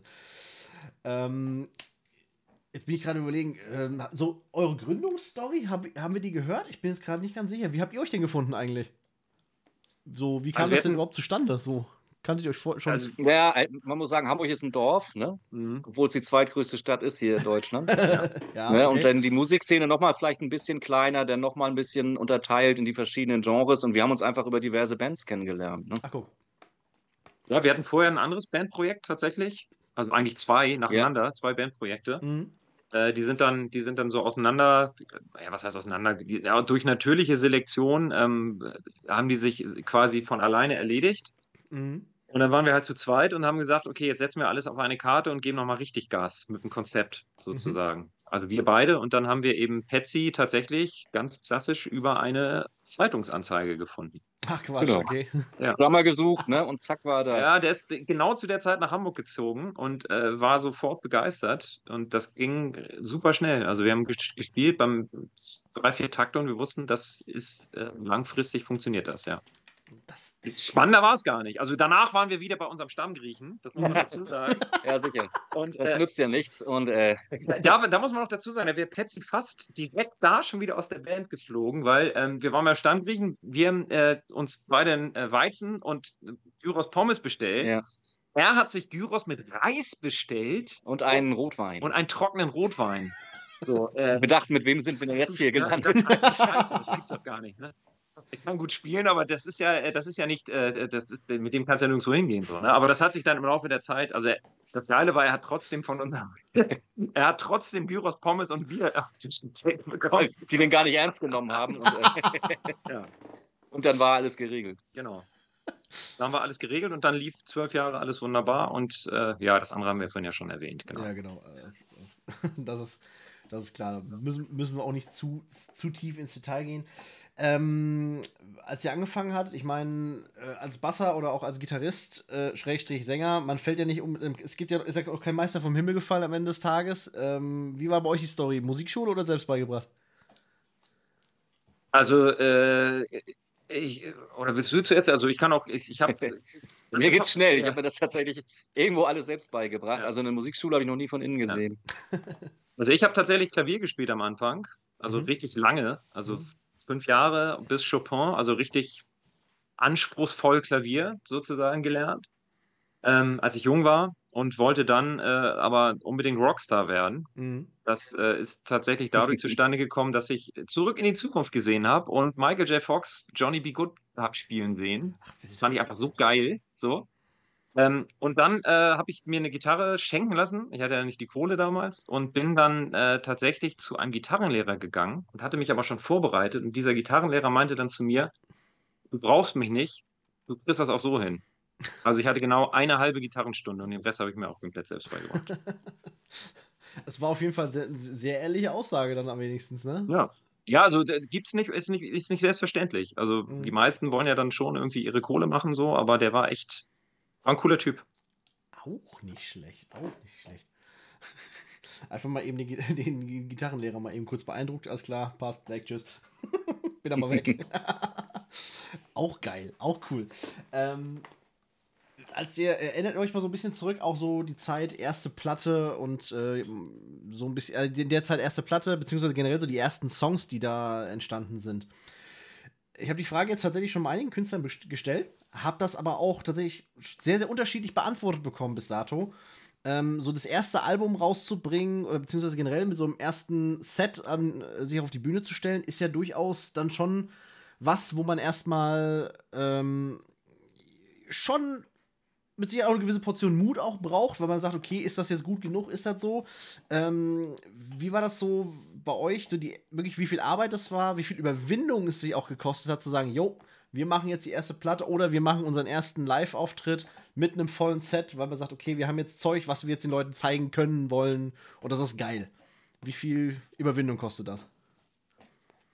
Äh, Überwindung ähm, eigentlich gar nicht so viel, weil wir haben ja wirklich tatsächlich ähm, sehr, sehr viel geprobt ne? für, die, Mhm. für die erste Show auch. Wir hatten ja wirklich ein langes Programm, wir haben das wirklich äh, bis zum Erbrechen geprobt und waren uns ziemlich sicher, dass wir uns da keine Gedanken machen müssen, wie wir das rüberbringen. Du weißt natürlich nie, wie es ankommt. Ne? Deswegen hatten Ja. wir dieses Geheimkonzert äh, auf diesem Geburtstag war es ja, glaube ich, ne? so ein Überraschungsding. Und äh, da weißt du aber eigentlich erst, das ist ja auch mit jedem Song, du weißt erst, wenn du ihn live spielst und er ankommt, ob er gut ist oder nicht. Mhm. Und ähm, das lief halt super so, ne? Und da wussten wir, ja, das ist, das ist der richtige Weg. Und aber so groß sich überwinden mussten wir uns eigentlich nicht. Wir haben ja auch vor alle schon in Bands gespielt, so, ne? Wir haben Mhm. ja alle Live-Erfahrung. Ähm, das war jetzt nichts komplett Neues für uns. Ja, und es ist, es ist auch so, wir machen auch auf der Bühne keine, wie heißt das so schön, keine komplette Selbstdarstellung, sondern wir schlüpfen ja auch so ein bisschen in, in Rollen. Also wir verstehen Mhm. uns dann ja als Entertainer. So. Und sobald wir auf der Bühne sind, das Licht geht an, dann sind wir im Modus. Mhm. Also da ist nichts mit äh, Nervosität, da braucht es vielleicht zwei, drei Takte und dann sind wir komplett in der Show. Geil. So, und dann, dann wollen wir eigentlich gar nicht mehr runter von der Bühne. und so war es erstaunlicherweise oder coolerweise, also wir haben, sind davon ausgegangen, dass es so wird, ne? sonst hätten wir uns ja nicht auf die Bühne gestellt, aber es war coolerweise bei dieser ersten Show auch so, dass sowas von äh, die Bombe geplatzt ist und der Funke übergesprungen ist, schon direkt mit den ersten drei, vier äh, Sekunden sozusagen. Mhm dass das halt äh, wirklich so eine Woge der Begeisterung war, die uns durch diese ganze Show getragen hat. Und wir haben ja wirklich drei Stunden da durchgeballert, ne? Also wirklich drei Stunden Dauerfeuerkonzert so als für einen ersten Secret Gig ist ja schon, war eigentlich schon ein bisschen übertrieben, aber es hat halt, es war halt geil so. Und äh, ja, ja, also wir haben da schon einige Leute kaputt gespielt. war, schon, war schon eine Ansage mit drei Stunden, ist halt immer so eine Sache. Du musst halt auch ein bisschen ja. gucken, ne? wie nehmen die Leute das auf und irgendwann ist es dann für viele auch dann zu viel, die können dann einfach nicht mehr. Ja. Aber das war schon, war schon cool so. Macht halt auch Spaß, so lange zu spielen. Ja ist ja dann schon auch so ein Stück weit so, so, so ein Marathon-Set dann auch, ne? Also das ist drei Sport, Stunden. Ne? Du merkst es aber tatsächlich erst dann irgendwie den, am nächsten Tag, was du gemacht hast. Du bist ja so voll Adrenalin auch, ne? dass mhm. du es dann tatsächlich erst mit in den Abend nimmst, mit in die Nacht und der nächsten Tag so, oh, waren doch drei Stunden, da merkst du es dann doch. Ja, es war, es, zu der Zeit war es auch so, also der, gerade weil, weil Johnny es ja schon sagte, wir haben uns ja super intensiv darauf vorbereitet, also wirklich mhm. im Grunde über ein Jahr nur durchgeprobt. Unsere Proben haben auch tatsächlich daran bestanden, dass wir äh, das komplette Live-Set, also das Standard-Set, das waren zwei Stunden damals, mhm. dass wir das durchgespielt haben, Viertelstunde Pause und nochmal durchgespielt haben. Also immer so geprobt haben, als würden wir zwei Konzerte pro Abend spielen, pro Probe sozusagen. Mhm. Ähm, das ist natürlich, hört sich krass an, hört sich viel an, aber wir waren in so einem Rausch dann tatsächlich. Also mhm. Wir hatten schon, während wir das erste Mal gespielt haben, schon Bock, das gleich nochmal zu spielen. So. Äh, und und äh, das hat dann einfach auch diesen, diesen, ja, diesen Antrieb sozusagen in uns erzeugt. Dass wir da auf der Bühne genauso, also es ist ja auch so, also nichts ist ätzender, als auf die Bühne zu gehen und nach einer halben Stunde zu merken, oh, ich kann nicht mehr, meine Kondition ist durch, ich, mhm. ich kriege die Töne nicht mehr, ich bin völlig am Ende. Äh, dem wollten wir entgegenwirken. Also wir wollten immer topfit auf die Bühne, damit wir im Zweifel einfach am Ende noch länger spielen können, als es gedacht ist. Also einfach so viel, so viel Energie, so viel Reserven auch auf der Bühne zu haben, mhm. damit es ähm, eine perfekte Show wird, ja. Krass, okay. Auch definitiv mal ein etwas anderer Ansatz, muss ich sagen. Also habe ich so jetzt auch noch nicht gehört, tatsächlich. Finde ich aber krass, also dass man sich quasi wirklich wie, ja, im Prinzip sagt, okay, hey, wir bereiten uns wie auf einen Marathon vor, aber äh, es wird vielleicht doch, nee, ein Sprint will ich nicht sagen, aber es wird halt jetzt nicht die volle Distanz so, aber man ist dann ready, keine Ahnung, aus Versehen, falls, falls was passiert, so ungefähr. Krass. Genau. Wahnsinn. Genau, du probst die Songs ja quasi auf Autopilot. Ne? Du, ne, du hast es irgendwann so drauf, hast das Gefühl, dass deine Hände spielen das irgendwie ja. von alleine. Ne? Und wir achten auch sehr darauf, auch beim Proben, dass wir möglichst viel Live-Atmosphäre haben. Ne? Also wir spielen sehr abgedunkelt im Proberaum. Mhm. Auch so ein bisschen Bühnenbeleuchtung, ne? dass du immer das Gefühl hast, du bist halt quasi eigentlich auf der Bühne. Ne? Dass der mhm. Unterschied zwischen Proben und Proberaum gar nicht so groß ist wie, wie live. Ne? Ist auch mhm. nicht so, dass wir dann irgendwie, wir spielen jetzt mal einen Song, dann setzen wir uns erstmal hin und trinken was, dann machen ja. wir noch einen Song. Wir spielen dann schon das Set durch. Ja, cool. Ja, gut. Wir stehen auch mit dem Rücken zum Publikum, äh, nee, nicht zum Publikum, mit dem Rücken zum Schlagzeug. Das wollen wir auch demnächst mal ausprobieren. Ja, genau. Ja, nochmal ein neuer Ansatz. Ne? Ja, das ist ja ein Proberaum-Gig auf der Bühne. Ja, nee, aber pass auf, äh, wo ich darauf hinaus wollte, das war so eine Überlegung, als wir unseren Proberaum äh, das äh, eingerichtet haben, als wir losgelegt haben, ein Studio reingebaut und so weiter. Wir, wir spielen tatsächlich, wir stehen vor einer Wand. Also wir gucken zu einer Wand und das Schlagzeug ist hinter uns. Mhm. Und wir hatten mal überlegt, ob wir äh, irgendwie in Hamburg in die, in die, hieß damals Collarline Arena, also so eine große 15.000er ja. Arena gehen mhm. und uns da einfach so ein geiles Bild, äh, so ein Foto machen des vierten Publikums sozusagen und das als Fototapete quasi an diese Wand knallen, damit wir das Gefühl haben, wir würden die ganze Zeit ähm, ja, in so einer riesigen Halle spielen. Haben wir bisher noch nicht umgesetzt, aber ist immer noch ein Plan im Hinterkopf. das ist ja auch, auch eine Idee. Also den Ansatz, den Ansatz habe ich, so, wie gesagt, den habe ich noch nie gehört, finde ich aber, feiere ich irgendwie, finde ich total geil. Weil andersrum ist es auch so ein bisschen seinen eigenen, seinen eigenen Kopf so ein bisschen zu, zu äh, täuschen, weil dann hast du, wie, wie äh, Johnny gerade sagte, dann ist der Unterschied gar nicht so groß. Ergo spielt sich auch nicht so die Nervosität dann irgendwie da eine Rolle. Das ist, das genau, ist, genau. Das richtig. ist auch smart, das ist total gut. Ja, wir hauen jetzt hier tatsächlich ein paar, paar Infos raus, die, äh, die, können andere Bands gern adaptieren, aber wir müssen, wir lassen die natürlich schützen. Als Sloppy Joes Probe. Ähm, Therapie, genau. Auch du, es gibt, es gibt Leute, die machen mit, mit äh, deutlich, deutlich, deutlich schlimmeren Dingen äh, äh, deutlich mehr Geld. Also von daher, ja, das, also alle, ja, das, das stimmt schon. Das alle stimmt Bands, die äh, gerne noch ein paar Tipps haben wollen, Die Links, die Links habt ihr ja gesehen im, im, im Stream. Nein, äh, finde ich, finde ich aber, wie gesagt, echt, echt einen äh, sehr, sehr spannenden Ansatz. Vor allem äh, dann eben auch irgendwie so ein bisschen auf alles vorbereitet zu sein, einfach. Das finde ich cool. Ist es denn auch so, wenn sich so ein bisschen, äh, wenn dieser Autopilot kommt, dass man dann auch mehr ja, Zeit hat, dann die Leute auch so ein bisschen wahrzunehmen, die vor der Bühne dann entsprechend machen, weil du weißt, dein, dein Spiel sitzt so gut und so fest, dass du dann auch mit Leuten die Interaktion richtig geil machen und auch genießen kannst? Genau, also genau das ist es. Also du bringst es komplett auf den Punkt. Also genau darum geht es, dass wir quasi die Musik von alleine laufen lassen, um uns dann volles, voll auf die Show fokussieren zu können. Und das ist, das bleibt ja auch beim Publikum hängen. Also es mhm, ist doch für, für, jemanden im Publikum viel geiler, wenn du das Gefühl hast, der Typ auf der Bühne, der sieht dich und der will dir was bieten, ähm, anstatt einfach nur nach unten zu gucken und äh, sich voll konzentriert irgendwie die Songs durch die Songs zu kämpfen. Mhm. Ähm, das, das ist nicht unser Ding. Aber das, das das haben wir uns aber eben natürlich auch gerade bei diesen ganzen großen Bands äh, abgeguckt, was ich eingangs sagte, wie Iron mhm. Maiden, ACDC, wo wirklich klar ist, die spielen das komplett blind irgendwie. Mhm. Also da, die, die haben es im Blut. Und ähm, der Fokus ist tatsächlich darauf gerichtet, ähm, das Publikum mitzureißen, ja. Vor allem, äh, das passt auch zu dem, was man dann auch wirklich, was ich dann tatsächlich auch sehen konnte, dann auf dem, auf dem besagten Schnickschnack-Festival, weil ähm, man konnte sehen, als ihr losgelegt hattet, waren die Leute noch so ein bisschen gut, wie auch der Wetter geschuldet, natürlich war noch nicht so ganz so viel vor der Bühne los. Und ich sag mal, nach zwei, drei, vier Songs, man merkte dann, dann kamen die Leute und kamen die Leute dann so nach und nach.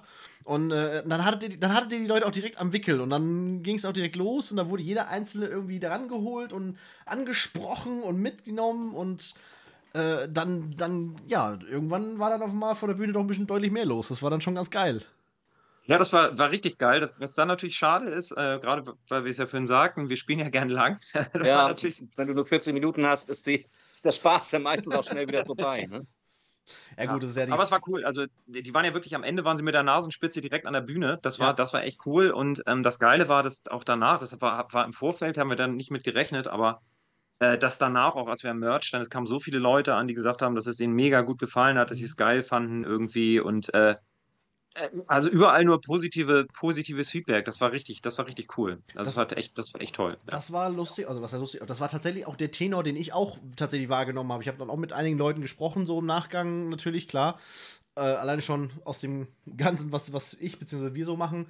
Äh, natürlich auch die Neugier. Und auch das war tatsächlich, also viele sagten tatsächlich, bei einigen Bands, sag ich mal, aus dem Lokalen, kennt man da natürlich auch so ein bisschen, also zumindest die Leute, die hier aus der Gegend kommen den, äh, ich sag mal, die Idiots und auch JBO, sag ich mal, da, da ist der Name, der schon extrem mitschwingt.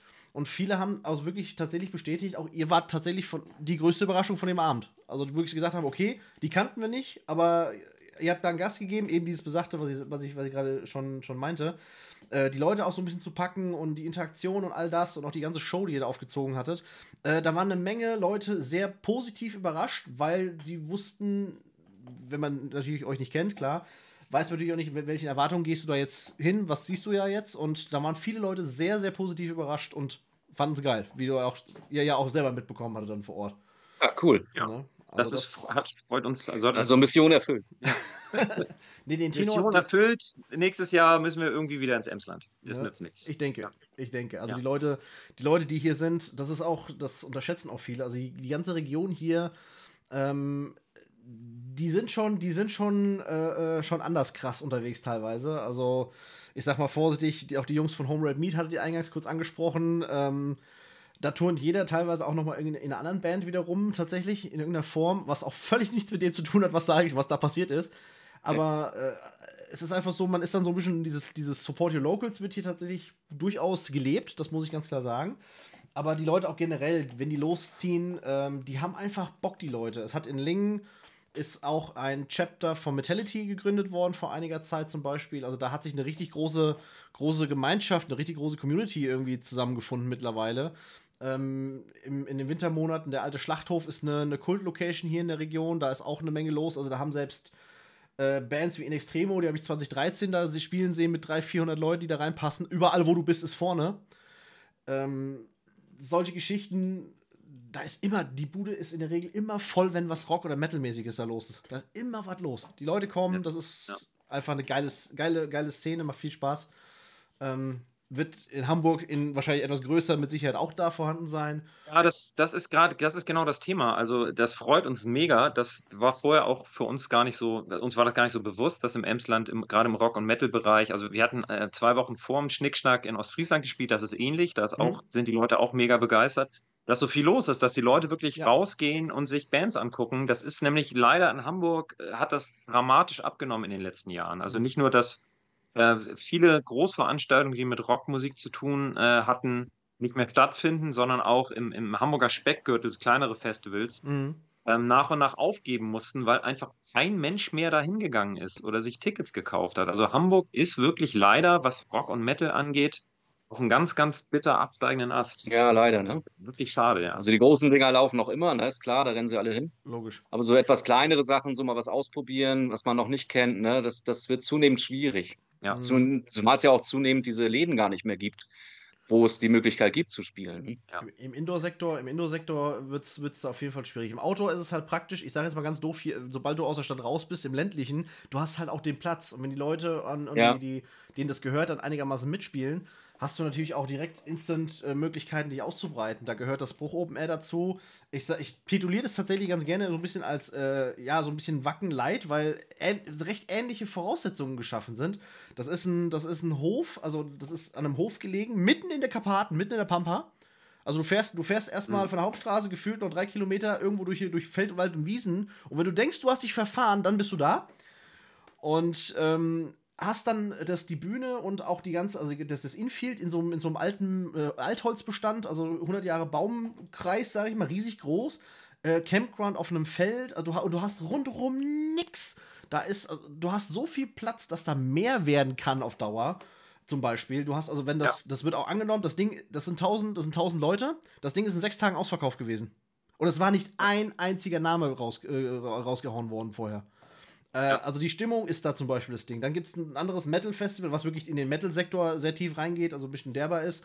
Äh, tatsächlich, äh, das Motion May Festival hat jetzt gerade sein Line-Up für nächstes Jahr veröffentlicht. Ähm, auch, das ist eine, eine, eine, ein Festival, Indoor-Festival, aber mit, mit Campground. 1000 Leute wieder. Äh, ist in der Stahlhalle. Puristischer geht's nicht. Das ist eine, eine, eine, eine, eine Halle, in der wird. Metal, zu- ne? ja, Ja.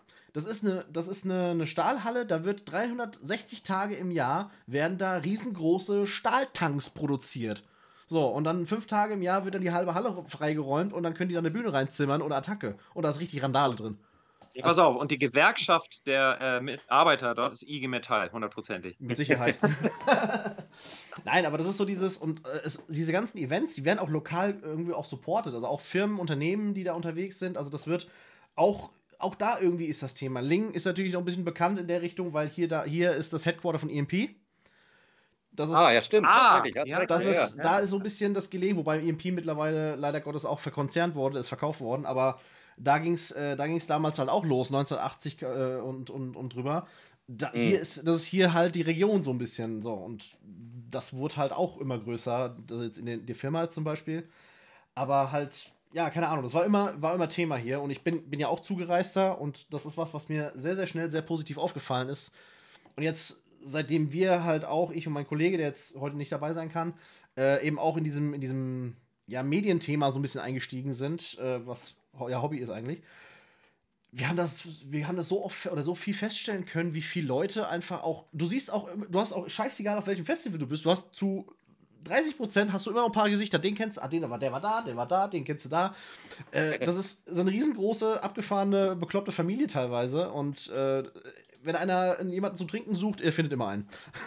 so ungefähr. Ja, ist, also, wie gesagt, uns hat's, wir haben uns so ein bisschen verliebt ins Emsland. Ja, das ist also echt toll da. Und äh, ja, wir können es gar nicht erwarten, wiederzukommen. Kann das ich, kann ich wird auf euch jeden Fall empfehlen. bald passieren. Ja. Das- Aber wollen wir nicht, wir sind ja jetzt hier, es, es heißt ja Musik-Laber-Allianz. Wir haben jetzt ja total seriös uns über unsere Bandgeschichte unterhalten, über musikalische Entwicklung, über Musikunterricht. Wollen wir nicht mal so ein bisschen, also wir warten ja immer noch so ein bisschen aufs Kreuzverhör, ne? So Ja. die richtig harten Dinger, die krassen Fragen irgendwie. Ja, du, die krassen Fragen und das harte Zeugs, das kommt, das kommt, das, äh, das müssen andere machen. Bei uns läuft das Okay, ja alles, okay. alles. Nein, das ist, das ist ja das Schöne, ähm, äh, einfach, einfach gemütlich zu, zusammenzukommen, zu sitzen, zu quatschen. Und äh, ich meine, auf die, auf die Stories und Anekdoten, da, da kommen wir ja gleich noch drauf Ja. zu sprechen tatsächlich, da wollte ich auch gleich noch hin. Ähm, Jetzt ist natürlich die Frage so ein bisschen für nächstes Jahr, habt ihr denn schon äh, Tour-Festivals für nächstes Jahr im Blick, was ihr auch verraten dürft? Oder ist da noch viel noch äh, nicht veröffentlicht worden, was noch so ein bisschen hinterm Berg ist? Äh, ist alles noch hinterm Berg. Aber, Aber ihr seid unterwegs. Ist, wir sind unterwegs und äh, der ein oder andere Begriff ist auch schon gefallen heute. Ah, sehr schön. Ich, hm, bin ich mal gespannt.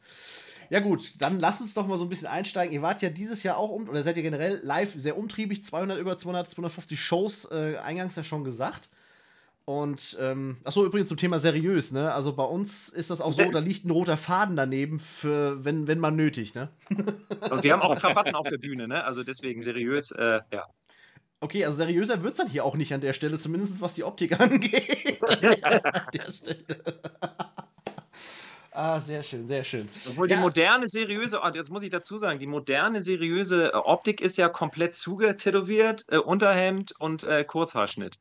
Und Eierfleck, also und Eierfleck auf dem Hemd, ne? Ist klar. Genau. Ja, wenn man so, wenn man so sich so gängige Formate auf RDL, auf RDL Plus anguckt, dann. Ne, also gut, aber lassen wir das. Ja, schwierig, schwierig. Ja. Wie, ist das, wie ist das denn eine ernsthaft oder eine seriöse Frage, muss ich tatsächlich noch stellen? Ähm, für euch so ein bisschen, wenn ihr jetzt unterwegs seid, beziehungsweise Auftritt hinter euch gebracht habt. Ähm, wie sieht denn für euch so wirklich so ein, ich nenne es jetzt mal ein erfolgreicher Auftrittstag an? Dass ihr sagt, okay, es muss, die Stimmung muss geil sein, die Menge der Leute, die da steht, wahrscheinlich optimal natürlich, alles geil, klar. Die Intensität, wie ihr das selber fühlt, wo, was ist so das, wo ihr sagt, wo ihr, wo ihr von, von der Bühne geht und denkt, yo, das war geil, was so, was das richtig ausmacht? Also was, was viel ausmacht für uns persönlich, ist auf jeden Fall, wenn wir selber auch beim Spielen einen geilen Sound haben. Also dass uns mhm. die Musik auch selber anbockt und wir dann wirklich nach dem letzten Ton noch immer noch dieses Gefühl haben, das klang einfach geil. Ja. Ähm, Deswegen ist für uns immer der wichtigste Mensch außerhalb der Band immer der Soundman. Ja. Ne, weil ähm, er kann vieles richtig, aber leider auch vieles falsch machen. Das also wir hatten auch schon Shows, wo wir dachten, das wäre ne, absolut geil und ähm, das hat er nicht so gut hinbekommen und es klang draußen halt scheiße und schon mhm. kommt die Show nicht mehr so an. Ne? Ja. Das ist genau das Ding. Wenn du es nicht selbst in der Hand hast, ist natürlich blöd. Also das Beste ja. ist, wenn wir von der Bühne kommen und von Leuten aus dem Publikum das Feedback bekommen, das war geil und klang geil. Also wir hatten es wirklich schon so, das ist das, wo, wo Johnny drauf hinaus will. Wir hatten eine Show, erstaunlicherweise mit Hardbone zusammen in Hamburg. Witzig, ja. ähm, und äh, ja, und wir waren tatsächlich Opener. Also wir waren erste Band, danach kam Hardbone und dann war noch eine dritte Band da. Das war so ein Band-Package äh, mhm. von ICS organisiert, äh, von Seaside Touring, also diese, ja. der, der Wockenagentur. Ähm, und wir hatten das Problem, wir waren die erste Band und der Soundtyp hat echt bei uns komplett versagt. Also zum einen hatte der in diversen Kabeln irgendwie einen Kurzschluss drin, dann hat eine, ist eine Box durchgeknackt. Und wir hatten aber ein gutes Monitoring auf dem, auf dem Ohr. Also unser Sound auf der Bühne für uns war, war echt gut. Mhm. So. Und wir dachten, das war alles cool, hatten uns nur gewundert, warum vom Publikum nicht so eine richtig, nicht die Reaktion kam, die wir sonst ähm, kennen, wenn wir mhm. auf der Bühne sind. Und dann sind wir halt von der Bühne runter und dann hatten uns halt ein paar Freunde, die auch da waren, gesagt, ey, was war denn da los? Das klang total beschissen. Ja. So, ne? Das war richtig schlecht. Also man hat den Gesang kaum gehört, die Gitarre mhm. komplett enteiert, Scheiße. Bass viel zu leise, Schlagzeug klang wie, wie, wie, wie Pappkartons. Was ist denn da los gewesen? Wo wir dann einfach in dem Moment auch nicht darauf antworten können, weil wir natürlich dachten, vom Monitoring her, mhm. das war alles gut. Ja. Aber letztendlich äh, hat uns da tatsächlich der Tontechniker den Arm ruiniert, was, was ah, wirklich Scheiße. ärgerlich war. Und, und das ist zum Beispiel die Situation, die äh, ein Kriterium dafür ist, dass wir sagen, scheiße, das war nicht cool. So. Mhm. Ja. Aber nicht aufgrund unserer Performance, sondern aufgrund der Art und Weise, wie es sozusagen per Ton ins Publikum transportiert wird. Mhm. So, und deswegen, also immer wenn wir ein Feedback, also sagen wir es mal so, wir haben selber das Gefühl, geiler Sound, die Leute sind abgegangen und dann kommen wir noch von der Bühne runter und dann erfahren wir noch, ey, das klang geil dann ist es für uns genau. ein erfolgreiches Konzert. Und noch geiler wird es, und da spanne ich nochmal den Bogen zum Schnickschnack-Festival, wenn wir dann auch noch am Merchstand stehen und die Leute ankommen und unsere Sachen kaufen wollen. Und beim Schnickschnack-Festival, das war halt sowieso das Geilste, da hatte ich ein äh, Stirnband um mhm. während der Show. Und da kam doch original ein Typ an, der mir das Stirnband abkaufen wollte. Stimmt, also ich konnte, ich konnte den und ich konnte den Preis definieren. stimmt, ja, das, das, das sind so lustige Erlebnisse, die man ja. noch hat. Ja, ja stimmt, das hast du Backstage sogar noch erzählt. Ja, genau. Ach, jetzt, das, jetzt, wo du sagst, ach Gott, ja, richtig. Ja, und dann, dann weißt du ja wirklich, äh, dass irgendwie muss das wirklich eine runde Sache gewesen sein. Also das hat jetzt einfach komplett funktioniert. So. Ja. Ähm, wir hatten jetzt letztens gerade, äh, und das, das ist halt auch immer so das Ding, das ist immer das Blöde, ne? Also, weil, wenn wir in Hamburg in, und Umland Hamburg äh, eine Show spielen, dann nehmen wir auch unseren eigenen Tontechniker mit, weil der genau weiß, wie wir klingen, mhm. der genau weiß, wie es draußen klingen muss. Aber wir haben es halt oft, gerade bei Festivals, äh, dass wir quasi darauf angewiesen sind, dass der lokale Tontechniker für den Sound bei uns sorgt. Ja. Und letztendlich eigentlich ist es gar nicht so kompliziert. Ich meine, eine Gitarre, ein Bass, äh, Schlagzeug und dreimal Gesang sollte möglich sein zu mischen, weil wir auch einen guten Sound normalerweise anbieten. Aber wir hatten es jetzt tatsächlich in den letzten zwei, drei Jahren bei Festivals des Öfteren, dass äh, unser Sound echt draußen nicht so cool klang. So. Mhm. Und wir es selber erst im Nachgang erfahren haben. Und ein paar Mal ist es auch tatsächlich schon passiert, dass genau bei diesen Shows ähm, Musikmagazine da waren, die Konzertberichte darüber geschrieben haben. Okay, so. schwierig. Ja, ja, und pass auf, der Witz ist, du kennst ja unsere Musik und du weißt ja, wie würdest ja. du unsere Musik definieren? Würdest, was würdest du sagen, machen wir für, für eine Musik? Ich, ich habe es ich hab's, ich hab's mal als Modern Rock so ein bisschen bezeichnet, mhm. aber auch schon durchaus mal was von der derberen Schiene hier und da. Ja, genau. Das Witzige war, bei dem einen Festival 2022, wo wir den Scheiß-Sound hatten, war auch Gitarre Enteier. Da hieß es auf einmal, wir würden äh, Street Punk machen und mit, mit, Rocket, mit Rockabilly-Einflüssen. so, wo wir echt dachten, Alter, was? So, ne? Also, das konnten wir gar nicht fassen, als wir das gelesen haben. Also, ein übler Verriss so, dass wir soundlich überhaupt gar nicht wissen, was wir wollen. So, äh, O-Ton, also O-Ton-Zitat sozusagen. Scheiße. Ne? Und dann okay. merkst du gleich so, Scheiße, was muss der Soundtechniker uns da für ein, für ein Ei ins Nest gelegt haben, so, ne? Mhm. Und genauso hatten wir äh, vor, ähm, ist noch gar nicht lange her, vor drei Wochen beim Bookwood Festival gespielt in, äh, in, im Südharz. Das war ein geiles Festival, super geil organisiert, tolle Organisation. Ähm, die Leute haben uns auch abgefeiert, also mhm. zumindest die, die direkt vorne an der Bühne waren, aber weiter raus muss der Sound wohl auch nicht so cool gewesen sein. Da, mhm. da hat äh, ein Journalist geschrieben, wir würden ähm, wie eine Misfits Coverband klingen, die aber auch extreme Grunge-Einflüsse hat. Okay. So. Spannend. Und äh, also aber, und, nichts irgendwie über das, was wir tatsächlich machen. Also, also nicht, ich habe nicht das wiedergespiegelt, was unseren Sound eigentlich ausmacht, sozusagen. Und in dem Moment, und das ist halt das, das ist das Traurige oder, oder das, das Gefährliche, wenn man sozusagen als Band, und ich sage das jetzt bewusst an alle Leute, die normalerweise im Publikum stehen, also die selber keine Musik machen, wenn eine Band scheiße klingt, dann muss das nicht zwingend an der Band liegen. Dann kann das auch einfach daran mhm. liegen, dass sie schlecht abgemischt ist draußen. So, und das, das äh, ist natürlich dann immer dieser, wie heißt das so schön, die Prädominanz des ersten Eindrucks. Ne? Du mhm. hörst es einmal und sagst gleich, die Band klingt so, XY-mäßig. Ja. Mhm. So, ja, aber gut, gut wenn, dann, wenn man sich dann die Platte holt und reinhört, dann äh, kommt irgendwann das Aha-Erlebnisse und viele Mo Musikjournalisten hören sich unsere Musik überhaupt nicht an, sondern berichten dann nur kurz mal mit einem halben Ohr zugehört von so einem mhm. Festival. Mhm. Das ist dann im Netz, ist immer ein bisschen schwierig, deswegen geben wir auch immer Gas, so viele Konzerte wie möglich zu spielen. Ja. Also ähm, immer fetten Sound abzuliefern, damit äh, quasi die positiven Konzertberichte, was den Sound angehen und was unser Musikstil angehen, dann auch überwiegen. Ja. Macht, ist natürlich auch verständlich. Ja, was du sagst, klar, logisch. Am Ende des Tages, Musik ist ein, ein Audiomedium, steht und fällt nun mal auch mit der ganzen Technik, ist ganz klar. Äh, Gibt es auch sicherlich einige Konzerte, wo ich gesagt habe, alter Schwede, äh, wahrscheinlich, wahrscheinlich ist die Band geil, aber das, äh, da war so ein Knoten im Sound drin, dass du das halt nicht beurteilen konntest in dem Falle. Äh, auch ja. wenn du dann genauer zuhörst, gut, ich sage jetzt mal doof, ähm, so jemand, jetzt in meinem Fall, ich nenne es einfach mal so, in meinem Falle, wenn ich trotzdem irgendwie ein bisschen neugierig bin, weil ich gehuckt bin von dem, was vielleicht auch auf der Bühne passiert ist, dann sagt man immer noch, ja komm, ich höre mal rein, was die sonst so auf Platte haben, was auch immer. Was du sagtest, aber man, man, man, manchmal hört man ja schon, dass im Sound was nicht hinhaut und nicht von der Band selber. Hatte ich einmal ein Konzert, auch hier tatsächlich lokal, war eine Band, die so ein bisschen eher im, im, im Metalcore, ein bisschen derber, also richtig derber rund zur Sache ging die haben geknüppelt, du hast, du hast ein krankes äh, Bass und ein krankes Gitarrenspiel gehabt, Schlagzeug, Double Bass, Gewitter vom Feinsten. Du gedacht hast, boah, geil, der Sound drückt. So, da war der Gesang aber so un unterirdisch weggemischt, dass du von dem, selbst wenn es auch nur Growling und war, du hast davon nicht viel mitbekommen. Ergo war das gesamte Soundkleid so schwierig, weil eben ja. der Gesang nicht ankam. Und ich bin dann sogar so weit gegangen, dass ich gesagt komm, ich stand vorne, direkt vorne am Brett gehst du mal ein Stück nach hinten, vielleicht ist das einfach nur ein bisschen anders lokaler abgemischt, was ich vorne, also halt auf Mitte gemischt, wie auch immer, Mitte gegangen, ist das, das wurde immer schlimmer, je weiter ich nach hinten ging. Ich sage, yes! Halt, für die Band ja, hat es mir da, leid. Ja, und da bist du als Band dann auch Opfer des Systems, ne? Also, und äh, letztendlich äh, natürlich dann aber auch die Hauptangriffsfläche Ne, Es sagt ja keiner, oh, der Tontechniker, der hat ja richtig scheiße gebaut. Mhm. Sagen dann alle, Immer die guck mal, Mucker. die Band, die klingen aber richtig scheiße. Ja, genau. Das sind immer die Ja. Mucker, die da das Fett wegkriegen. Ja, Es sind immer die Mucker, die dann schuld sind. Aber andererseits, äh, wenn es richtig geil klingt, äh, dann heißt es bei, bei, bei der Muckerpolizei heißt es dann, ja, der Tontechniker hat aber auch einen ganz hervorragenden Job gemacht.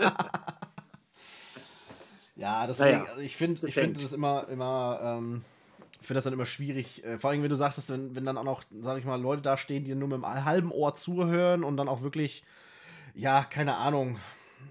sich nicht vorbereitet haben. Also ich finde es immer wichtig, äh, so mache ich das auch. Ich gehe ja auch nicht zu einem Konzert, ohne vorher von der Band etwas gehört zu haben. Also ich lasse mich ja nicht komplett überraschen. Ich gehe ja nicht komplett, äh, ohne zu wissen, was Sache ist, kaufe ich mir ja kein Ticket. So, ne? Ja, jein. Das heißt- jetzt, da muss ich mal ganz klares Jein, da muss ich mal eben unterbrechen. Liegt aber auch daran, ich sag mal, wenn du jetzt eine, eine Hallenshow hast, wo du sagst, du hast jetzt, sag ich mal, Künstler A als Headliner und hast dann ein, zwei Supports, okay, bin ich voll Ja, bei okay, dir. okay. Wenn du jetzt Ja. natürlich auf ein Festival gehst, so wie beispielsweise die genannten Lokalen, zumindest ist es ein Ding von mir, äh, gibt es da Möglichkeiten, okay, wenn wir jetzt natürlich, wenn wir natürlich darüber berichten, ja, okay, andere, anderer, anderer Schnack, gar keine Frage. Aber wenn du jetzt wirklich mal so ein bisschen ins Blaue reingehst, finde ich es immer ganz cool, sich auch mal überraschen zu lassen, zu sehen, du sagst gerade Live- Live-Qualitäten ist immer ein Ding, zu sagen, hey, okay, ich lasse mich jetzt mal einfach mal komplett wegflashen, ob die jetzt was auf der Bühne wirklich reißen oder nicht reißen. Ist aber natürlich wieder jeder so ein bisschen anders gestrickt, muss ich dazu sagen. Ja, klar, definitiv. Also Mhm. ich, ich, ich sehe es jetzt eher aus Musikjournalistenperspektive, nicht Ja. aus Fanperspektive. Ja, ne? Dass man Mhm. sich vorbereitet, auch vorher schon weiß, über welchen Künstler schreibe ich da. Ja, klar. Ähm, und äh, wir waren bei diesem Festival, was ich gerade angesprochen habe, waren wir Co-Headliner. Ne? Also da kann man schon Mhm. erwarten, dass so ein Journalist dann wenigstens mal mit einem halben Ohr bei zumindest sich ein YouTube-Video vielleicht an, anguckt, anhört irgendwie, um Mhm. zu wissen, wohin der Sound geht, um dann auch ein bisschen differenzieren zu können, Richtig. dass da vielleicht irgendwas nicht gestimmt hat. Aber wollen wir jetzt auch gar nicht zu lange drauf rumreiten. Wollen wir lieber noch andere dreckige Stories bauen? Ja, dreckige Stories, wobei ich sagen muss, das ist eine Sache, die ich da jetzt noch mal eben reingrätschen muss, weil ich das total schwierig finde. Ich meine, am Ende des Tages, am Ende des Tages sind wir uns alle einig, Musik ist am Ende des Tages eine unfassbar subjektive Geschichte. Ja. Ich sag mal, es wird, es gibt mit Sicherheit Leute, die, ich nehme, ich nehme euch jetzt als Beispiel, die euch absolut todesgeil abfeiern und richtig geil finden. Es wird mit Sicherheit auch ein paar geben, die, die mit eurem Stil nichts anfangen können. Sei es auf der Bühne, Ja. ist ja egal. Ist ja auch völlig gutes Recht. Äh, äh, du, dann, keine Ahnung, dreh dich um, trinkst dir einen Pilz, war das auf die nächste Band, wenn es mehrere am Abend gibt. Ist ja völlig easy, völlig, völlig, völlig legitim. Was ich persönlich unfassbar schlimm oder unfassbar bedenklich finde nach wie vor, aber das ist nicht nur äh, in der Musik so oder generell ja so jetzt ich mache mal kurz den, den seri das seriöse Fass auf tatsächlich. Äh, ein gesellschaftliches Thema ist, es wird ja grundsätzlich eher darüber berichtet, wenn was richtig scheiße ist oder wenn irgendeiner meint, ihm, gefällt das nicht, dass da unfassbare Verrisse stattfinden. Das ist zum Beispiel Mhm. was, was wir uns, Ja. gut, da äh, kommt aber wieder das Problem, ist, wir kommen aus der Fanperspektive, sind eingestiegen, uns immer gesagt haben, da haben wir zum Beispiel gar kein Interesse daran. Natürlich könnte man natürlich sagen, komm, wir wollen das größer machen, wir machen mal ein paar Schlagzeilen drauf, dann, wenn ich jetzt das VOD auch nenne, nach dem Motto, keine Ahnung, irgendwas totales Verdrehtes schre- schreibe, klar, generierst du deine Klicks und so weiter und so fort, was manche Journalisten ja wahrscheinlich auch tun müssen tatsächlich, um da die Reichweiten zu kreieren. Aber ich finde es total bedenklich, dass eben da teilweise Verrisse äh, äh, rausgehauen werden, einfach nur, um eben dieses, diese, diese, diese, diese Reichweite zu generieren, äh, ohne sich A, entweder, wie du gerade sagtest, schon sich mit der Materie im Vorfeld auseinandergesetzt zu haben, richtig hundertprozentig, also wirklich guten Recherche-Journalismus zu betreiben. In Musik ist das nichts anderes wie anderswo auch. Und dann entsprechend sich teilweise auf Kosten der Bands einfach da so vom Stapel zu ziehen, finde ich ein absolutes Unding. Also ich sag mal, ich persönlich finde so ein bisschen das Credo, wenn ich was geil finde, wenn, wenn ich was feiere, egal ob das die Leute sind, ob das die Mucke ist, ob das das Auftreten ist, was auch immer, dann hebe ich das hervor, dann spreche ich da gerne drüber. Wenn es nicht so ist, ja meine Güte, dann muss man es aber doch gar nicht erst großartig thematisieren, weil Genau, dann ignoriere es einfach, ne? Ja, Richtig. ja genau, ignoriere es einfach. Es gibt, es gibt ja auch in den sozialen Medien, das ist so geil, wenn du irgendwas, irgendeine Geschichte schreibst, oder äh, auch Fußball zum Beispiel, ein Fußballverein, egal welcher jetzt, wir sind da in Hamburg tatsächlich so, wir sind auf beiden Seiten in Hamburg äh, Mhm. unterwegs, was Fußball angeht. Ja. Aber angenommen, es wird ein Spiel gewonnen, dann gibt es immer Leute, die sofort in den Kommentaren schreiben, ah, es war aber alles scheiße, oh, da haben die wieder richtig Glück gehabt, also Ja. eigentlich äh, unverdient. Leute, die einfach nur negativ, äh, immer negativ drauf sind, also alles runter machen müssen. Und äh, da- äh, ein gutes Beispiel zum Beispiel, als wir, als wir 2016 unser Album Eight Reasons to Rock rausgebracht haben, da Mhm. sind auf dem Cover wir zu dritt drauf, Ja. ne, mit Krawatte. Mhm. Da hat ein Typ, ich weiß nicht mehr, welche Musikzeitung das Weiß war, ich nicht mehr, aber es war auch. der hat nur es war offensichtlich, dass er noch nicht mal die CD angehört hat. Der hat sich nur über unsere Optik lustig gemacht. Also eine Beleidigung nach der anderen rausgehauen Mhm. für ein Musikmagazin, ne? Wow. Und es war offensichtlich, dass er nicht mal ansatzweise auch nur einen Ton der Songs gehört hat. Und da denke ich so, ey, dann leg doch einfach die die CD zur Seite und halt einfach die Fresse. So, ne? Ähm, Ja. Investier doch keine Lebenszeit, Richtig. etwas kaputt zu machen. Genau So. das, was Warum? genau das, Ne? genau das, Ja. was du sagst. Das wäre, da wäre mir persönlich, ist mir die Zeit dann zu schade. Ich sage jetzt mal, klingt ein bisschen angeberisch, gebe ich zu, aber mittlerweile, wir haben auch so viele Projekte zum Beispiel, dass, das, da, sehe ich das gar, da gar keinen Sinn hinter. A, die Leute, die sich, die die Eier haben, die, die wirklich den Lachs auf den Tisch knallen und sagen, hey, wir haben was, was wir, was wir geil finden, was wir, wo wir uns selber für feiern, ähm, wir treten jetzt auf eine Bühne und präsentieren das. Alleine das, diesen Schritt zu gehen, da gehört schon unfassbar viel Mut dazu, das zu, zu sagen. Natürlich, klar, auch ein gewisses Selbstbewusstsein, gar keine Frage, aber am Ende des Tages immer auch den Mut, das den Leuten zu präsentieren. Man ist ja am Ende des Tages irgendwo noch ein Haifischbecken, muss man sagen. So. Und ganz ehrlich, und wenn es jetzt wirklich eine Band ist, egal, auch da wieder, wenn ihr das seid oder andere seid, wenn das euch gefällt, ja geil, feiert das, geht mit, zeigt den Leuten, zeigt ein bisschen Liebe, äh, dass, dass die das sehen, dass die Leute auf der Bühne merken, ey geil, da sind ein paar Leute, die feiern das, was wir machen. Viel geileres, äh, viel geileres Gefühl gibt es ja fast nicht. Ihr könnt es mir wahrscheinlich bestätigen an der Stelle. Äh, andersrum, wenn es dir nicht gefällt, ja mein Gott, dann geh, wie gesagt, dann dreh dich um, geh an Tresen, trink dir einen Pilz, fertig. Äh, bis hin, was ich richtig armselig finde, dass Leute teilweise anfangen, sogar äh, die Leute zu, mit irgendeinem Scheiß zu beschmeißen, so eine Kacke. Das finde ich unterste Schublade, absolut unterste Kategorie. Ja. Ja, geht gar nicht. Ne? Das ist leider, das ist, äh, aber das ist eher so ein, so ein äh, wie, wie kann man das nennen, Werteverfall in der Gesellschaft, denke ich mal. Ja. Also es muss, äh, es, spiegelt, anscheinend sind einfach unfassbare viele Leute auch mit sich selber unzufrieden irgendwie Ja. und missbrauchen ein Ventil und lassen es gern an anderen Dingen aus. So. Und das an der Kunst, also wir, wir sind ja irgendwie schon auch Künstler, Musik ist ja noch Kunst. Äh, daran auszulassen, ist auch echt das, das, das armseligste eigentlich. Also, da gibt es ganz andere Dinge, über die man sich aufregen kann. Absolut. Viel wichtigere, viel relevantere Dinge sozusagen. Ne? Aber ja, was, was willst du machen? Es ist, es ist einfach so. Es sind die Leute, es ist eine Bewegung in der Gesellschaft. Es sind, und letztendlich ist es auch so, durch die sozialen Medien und die ganzen Foren, die ganzen Portale und so weiter, Ja. haben die Leute natürlich auch eine Bühne, ne? Das ist, das, das ist ja einfach Ja. mal super schnell hingeschrieben. So, so ein Satz schreibst du in fünf Sekunden, so ein Hassding irgendwie. Richtig. Äh, das, das war früher nicht so ohne weiteres möglich. Ne? Und es ist ja auch, man kann sich da auch schön hinter verstecken. Ne? Man wird ja nicht Ja, gesehen, natürlich. man schreibt da einfach was hin, so, ne? Schön, ja, wie heißt das? Tolle, ne? Ja. Das, das ist das. Und deswegen find, bin ich immer Freund von, äh, zu sagen, wie gesagt, wenn das wirklich was für dich Negatives ist, dann lass es weg. Das, was positiv ist, was man geil findet, äh, das, das heb hervor, da kannst du auch ein Spotlight drauf packen. Ähm, wie gesagt, äh, in unserem Musikteil, sage ich mal vorsichtig, äh, im Rahmen unserer mittlerweile ein bisschen Reichweite, sagen wir ganz ehrlich, wenn wir, wir, sind, wir freuen uns drüber über Sachen, die, wir uns, die uns gefallen. Das ist auch subjektive Meinung. Wir sind zwei Leute, beziehungsweise unser, ich nenne mal Pod- Podcast-Praktikanten Lukas, der so sporadisch immer mal dabei Moin. ist. Ähm, das ist, äh, ja, jetzt habe ich den Faden verloren.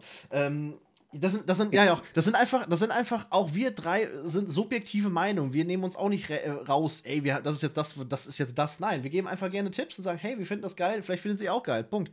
Und für, ich persönlich mag es halt gerne auch mit, mit, mit den Künstlern dahinter zu reden, sprechen. Einfach um mal so ein bisschen den Hintergrund zu erfahren. Wie ist die Story? Was, warum machen die das? Was ist der, auch im, im Song, in dem Kosmos, den die sich bewegen? Äh, es gibt ja auch so viele unterschiedliche Bandbreiten im Rock, im Metal, Mittelalter, das sind unsere drei Dinger. Äh, das ist so viele, es gibt so viele spannende Geschichten. Ich finde das unheimlich schön, das entsprechend jetzt so ein bisschen machen zu können. Deswegen nochmal schön auch, dass ihr dann entsprechend auch da seid und mitmacht. Und jetzt möchte ich auch tatsächlich in die Storytime gehen. das war jetzt so ein bisschen die Ja, okay. Überleitung. Vom, wir, gehen, Ja. wir gehen jetzt mal aus dem, aus dem Todernsten ein bisschen wieder raus. Äh, es, es war, schon, war schon ein bisschen sehr Deep Talk. Äh, ihr habt ja 200, 250 Shows mittlerweile gespielt und mehr. Ähm, es wird ja auch sowas wie ein, ja, ein Tourleben, Schrägstrich, ihr seid ja viel unterwegs. Ähm, so ein bisschen, lass uns mal so ein bisschen Storytime machen, ein bisschen Anekdoten. So, was, erzählt mal so ein bisschen, so ein paar Schwanke quasi, ich wollte sagen Schwank aus der Jugend, aber so die, die, die, ich sag mal, die abgedrehtesten, verrücktesten Shows, vielleicht auch, keine Ahnung, Pleiten, Pech und Pannen ist auch irgendwie auch cool. Alles, was ihr so, was euch so ein bisschen hängen geblieben ist bei euch tatsächlich. So ein bisschen was. Also die verrücktesten Sachen, die passieren eher außerhalb der Show. Ja, genau. Äh, beim Griechen, beim ja Stammgriechen. Ja, zum Beispiel. Ich kann ja mal zwei rausnehmen. Ja, Ne? Ja, ja. Dann fange ich mal an. Wir hatten mal eine. Show in Schleswig-Holstein beim befreundeten Rocker- und Biker-Club. Mhm. Die hatten halt ihr Saisoneröffnung oder Abschluss, weiß ich nicht mehr genau, das ist ein paar Jahre her. Die wurden damals aber tatsächlich in Schleswig-Holstein von der Polizei überwacht. Da ging es um befreundete andere Clubs, will ich jetzt gar nicht so drauf eingehen. Mhm. Ähm, Kundenverbot. Kundenverbot, all sowas halt. Ne? Und als wir da ankamen, waren mit zwei Autos unterwegs, um das alles dahin zu karren. War tatsächlich äh, auf dem Weg dahin, da war das Clubhaus und da führte so eine Straße lang. Es gab auch noch diese eine Straße, es stand alles voll mit Polizei. Ne? Und das war wirklich SEK, das waren die mit den Sturmhauben und den Maschinengewehren. Äh, und die haben genau geguckt, wer da hinfährt, wer nicht. Und wir kamen da an, wir haben gesagt, wir sind nur die Band, aber wir mussten tatsächlich komplett alles ausladen, was wir dabei hatten.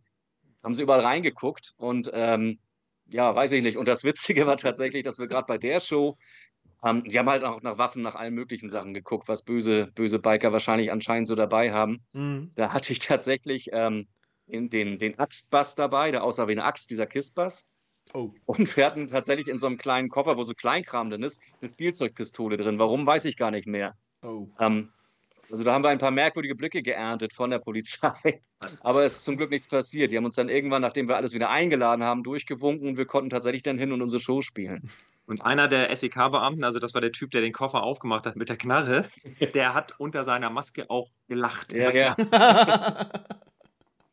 Das Ja. muss man dazu sagen. Die dürfen ja nicht, die dürfen ja nichts sagen, ne? Die dürfen, müssen ja wirklich äh, anonym bleiben. Das ist Mhm. ja wirklich dieses Sonderding irgendwie. Und ähm, aber es war wirklich ein riesen weiträumig abgesperrt und auch, auch total mit so Abhörgeräten auch Ja. auf den Autos, ne? Also die haben auch versucht, das Clubhaus abzuhören irgendwie. Gott, okay.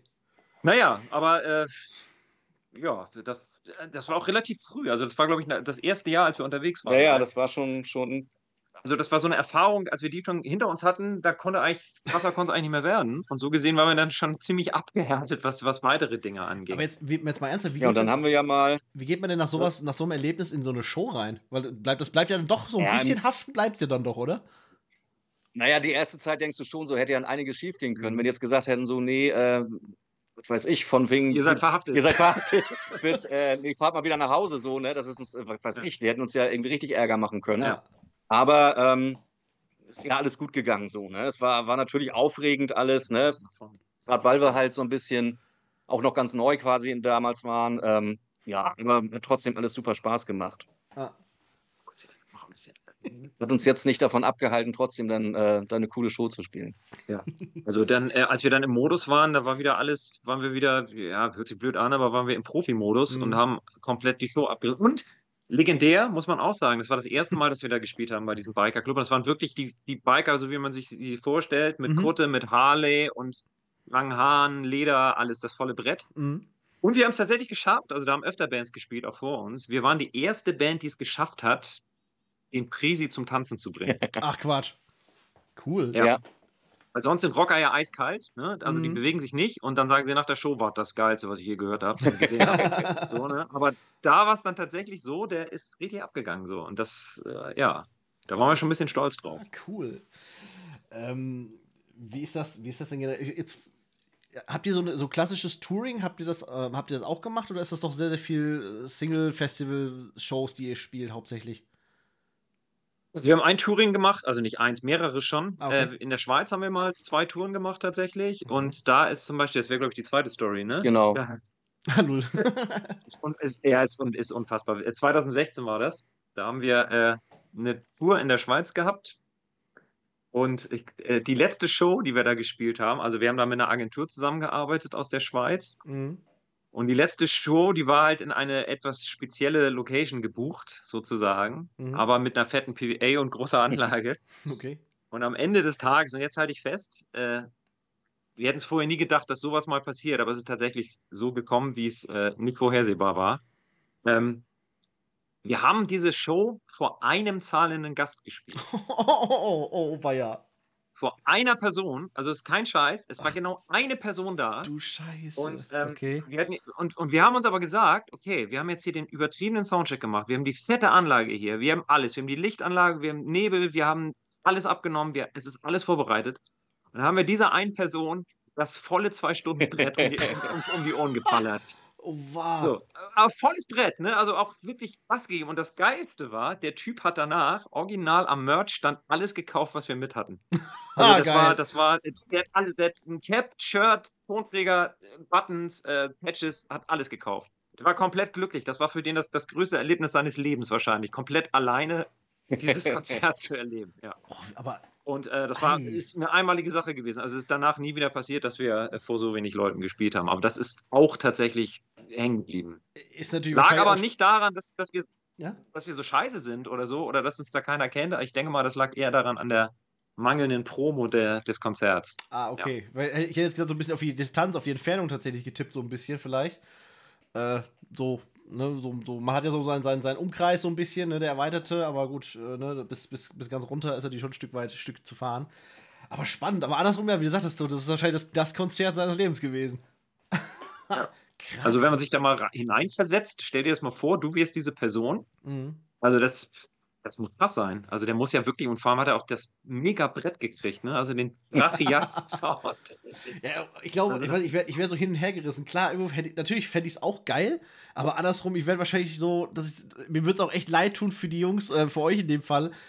Alter, nur, du hast die Lehre. Oh, no, nee, das ist, das ist irgendwie schon undankbar. Meine Fresse. Alter. Ja, ist natürlich nicht toll, ne? Aber andererseits, du bist ja eh da. Ne? Ist ja nicht so, dass du sagst, wir können jetzt wieder nach Hause fahren, wir sind in der Schweiz. Du bist eh da und dann spielst du halt dein, dein Ja, Set, ja, ne? Was soll's. ist ein Wir haben aber auch coole Shows gespielt. Ne? Ja. Also ähm, zum Beispiel Gruß gibt an die Rockgenossen in der Schweiz, falls Sie heute zugucken.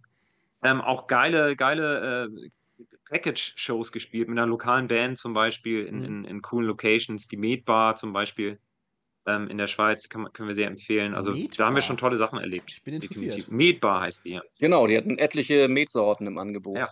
ich bin interessiert. Und äh, ja. ja, das war auch cool. Das hat Spaß gemacht. Mietbar. Hm. Eine, eine krasse Story würde würd ich gerne noch erzählen, weil klar. das war tatsächlich was, was Besonderes, ist jetzt auch gar nicht so abgefahren, aber für uns persönlich war das schon sehr abgefahren. Ähm, wir haben 2022 unsere letzte Single rausgebracht, Get in the Ring, haben wir auch Mhm. gespielt auf dem Schnick-Schnack-Festival. Ja. Ich weiß nicht, ob du dich erinnerst. Ja, vermutlich. Mhm. Ähm, Ich habe den Song tatsächlich Und, vorhin noch äh, gehört. Ah, sehr gut, sehr gut. Und diesen Song, an den haben wir tatsächlich, das ist eine Auftragskomposition gewesen. Also das Ah. ist der, der Titelsong für ein großes Kickbox-Event, was einmal im Jahr in Hamburg stattfindet. Ein europäisches Kickbox-Event, das größte in Europa. Das heißt Okay. auch Get in the Ring. Cool. So, und das äh, findet tatsächlich äh, in der Edel Optics Arena in Hamburg statt. Ich weiß nicht, ob du die kennst. Nee. Das ist so die, die drittgrößte Halle nach der äh, Barclays Arena, der Hamburger Sporthalle. Danach kommt die Edel Optics Arena. Da passen, glaube ich, so 5.000 bis 6.000 Leute rein. Auch Und wir hatten- ja. Mhm. Ja, definitiv. Und ähm, bei diesem Event ist es halt so, in der Mitte ist der Boxring, direkt in der Mitte. Und dann, wie, wie man es bei Boxkämpfen auch kennt, die Ränge sind halt voll und dann haben sie, stehen halt, sind nach Stühle im Innenraum sozusagen, ne, dass man direkt am Ring sitzen kann. Mhm. So. Und wir, äh, weil wir diesen Song gemacht haben und der eben für diese, auch in der Werbespots für dieses Event äh, genutzt wurde, haben tatsächlich bei dieser Show äh, diesen Song komplett live im Boxring gespielt. Als Cool. Eröffnung der Veranstaltung sozusagen. So, und das war für uns einfach echt eine unfassbar krasse Erfahrung, weil wir ähm, keinerlei Playbacks hatten, sondern wirklich mit dem Pult, mit unserem kompletten Equipment in diesem Boxring waren. Ja. Ähm, alles durchmikrofoniert, alles abgenommen, äh, wurde dann über so eine krasse Funkstrecke zur, zur Haus-PA-Anlage geschickt, das Ganze, das Signal. Mhm. Und dann haben wir tatsächlich äh, diesen, diesen Song gespielt, ähm, haben den tierisch in die Länge gezogen, also so ein Mittelteil, Bass-Schlagzeug-Part und in, Mhm. in diesem Bass-Schlagzeug-Part sind dann die Kämpfer eingelaufen, Oh, geil. um den Ring cool. rumgelaufen, dann hat der, hat der Box, äh, der Ringsprecher hat die anmoderiert, die, die Kämpfer so. Also insgesamt haben wir den Song bestimmt so 15 Minuten gespielt. Ja. ja, das war eine geile Nummer. Und da, das war richtig geil. Also das war etwas, was wir vorher noch nie gemacht haben. Also nicht vergleichbar mit irgendwelchen Konzerten, weil einfach eben auch diese Zeit so knapp war. Ne? Also wir haben im Ring aufgebaut, das Ding gespielt und als wir fertig waren, und jetzt kommt es nämlich, als wir fertig waren mit dem, mit dem Song, ähm, hatten wir noch genau fünf Minuten Zeit, bis der erste Kampf stattfinden sollte. Ui.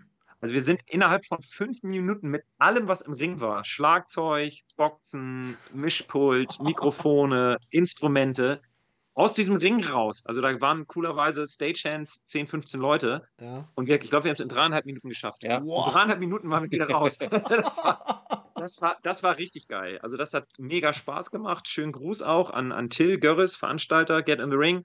Findet dieses Jahr äh, am 2. November, glaube ich, in Hamburg wieder statt. Also für alle, die es interessiert, getinthering.com oder getinthering.de. Ja, es gibt auch eine Videoaufnahme, die werden wir, wenn, wenn die Zeit reicht, wenn wir es noch hinkriegen, werden wir äh, vielleicht nochmal einen Videomitschnitt äh, dieser Show ähm, bei YouTube raushauen. Das, wär, das, das wäre nämlich lustigerweise meine nächste Frage gewesen. Wo gibt es die Videos zu sehen? Und äh, das hört sich Also extrem das geil Event an. wurde, ja, das Event wurde äh, live gestreamt tatsächlich auch. Cool. Ähm, da hat man auch unser, unser, unser, unsere Show gesehen, unser, unseren Auftritt. Mhm. Ähm, das war aber so ein Pay-per-View-Ding. Ja. Also ähm, nicht, nicht öffentlich danach. Wir sind aber, wir haben das Videomaterial aber bekommen. Hatten aber noch keine Zeit, das Ah, fertig zu machen. Aber Ja, es wird auf jeden stark. Fall passieren. Wir werden es wir werden's nochmal veröffentlichen, definitiv. Stark, das, ist ja, das, das ist ja richtig cool. Ja, Wäre jetzt tatsächlich so die Frage gewesen, ist, war das denn auch einer so der größten oder mei- mit den meisten Zuschauer, Zuhörern? Oder wie oder gibt's da noch, gab es da noch größere Venues, die ihr mal spielen durftet? Ähm, naja, wir haben Markthalle auch mehrfach gespielt in Hamburg. Oh, gut, das ist eine Ta Markthalle gegen, glaube ich, 1000, 1200 rein. Ja, das ist wesentlich kleiner als Edel Optics Arena, stimmt. Das Ähm, war schon eins der größten. War eins der größten. Äh, natürlich noch ein paar Festivals haben wir noch gespielt, wo wahrscheinlich auch noch mehr Leute da waren. Mhm. Aber äh, so eine so ausverkaufte Halle mit den Rängen bis nach oben dicht und du stehst in der Mitte und um dich, um dich herum sitzen auch überall Leute. Das war schon auch der Blick aus dem Ring heraus. Das war schon ziemlich geil, weil auch Mega. äh, der Geräuschpegel natürlich von den Rängen dann runter in diesen Boxring auch wirklich, Mhm. also etwas war, was wir vorher noch nicht erlebt haben. Ja, der, der Auftritt, äh, dass, da- dass, der, dass der äh, ganz besonders im Gedächtnis bleibt, äh, das kann ich mir sehr, sehr, sehr gut vorstellen. Weil ich glaube, das mh, haben nicht viele und auch mit Sicherheit nicht häufig tatsächlich. Das ist mit Sicherheit ganz was, ganz was Besonderes auf jeden Fall. Krass. Wahnsinn. Auftritt ist übrigens ein gutes Stichwort. Ähm, Ja, stimmt. wir, wir, wir, nähern uns ja, wir nähern uns ja langsam dem Ende quasi. Ich Ja. habe hab haben da so ein tatsächlich noch so, einen- was- so einen seriösen Call noch über, aber ja, ihr habt ja noch was vorbereitet. Ja, ja, pass auf. Es ist ja so, ähm, wir sind jetzt mit unseren Festivals durch in diesem Sommer, aber unser absolutes Highlight ähm, ist immer unsere Show in Hamburg selber, sozusagen. Also wir spielen Mhm. immer einmal im Jahr ein großes Konzert in Hamburg mit einem Support und wir spielen die volle Show. Das sollte auch Mhm. let sollte eigentlich letztes Jahr im, im Oktober stattfinden. Ist genau ähm, in den Zeitraum gefallen, als ähm, Patsy quasi aus der Band raus ist, also als wir Mhm. quasi zu zweit waren. Deswegen konnten wir dieses Konzert im letzten Herbst nicht spielen, ähm, haben es jetzt äh, um ein Jahr verlängert, also äh, verlegt quasi Mhm. auf, auf dieses Jahr.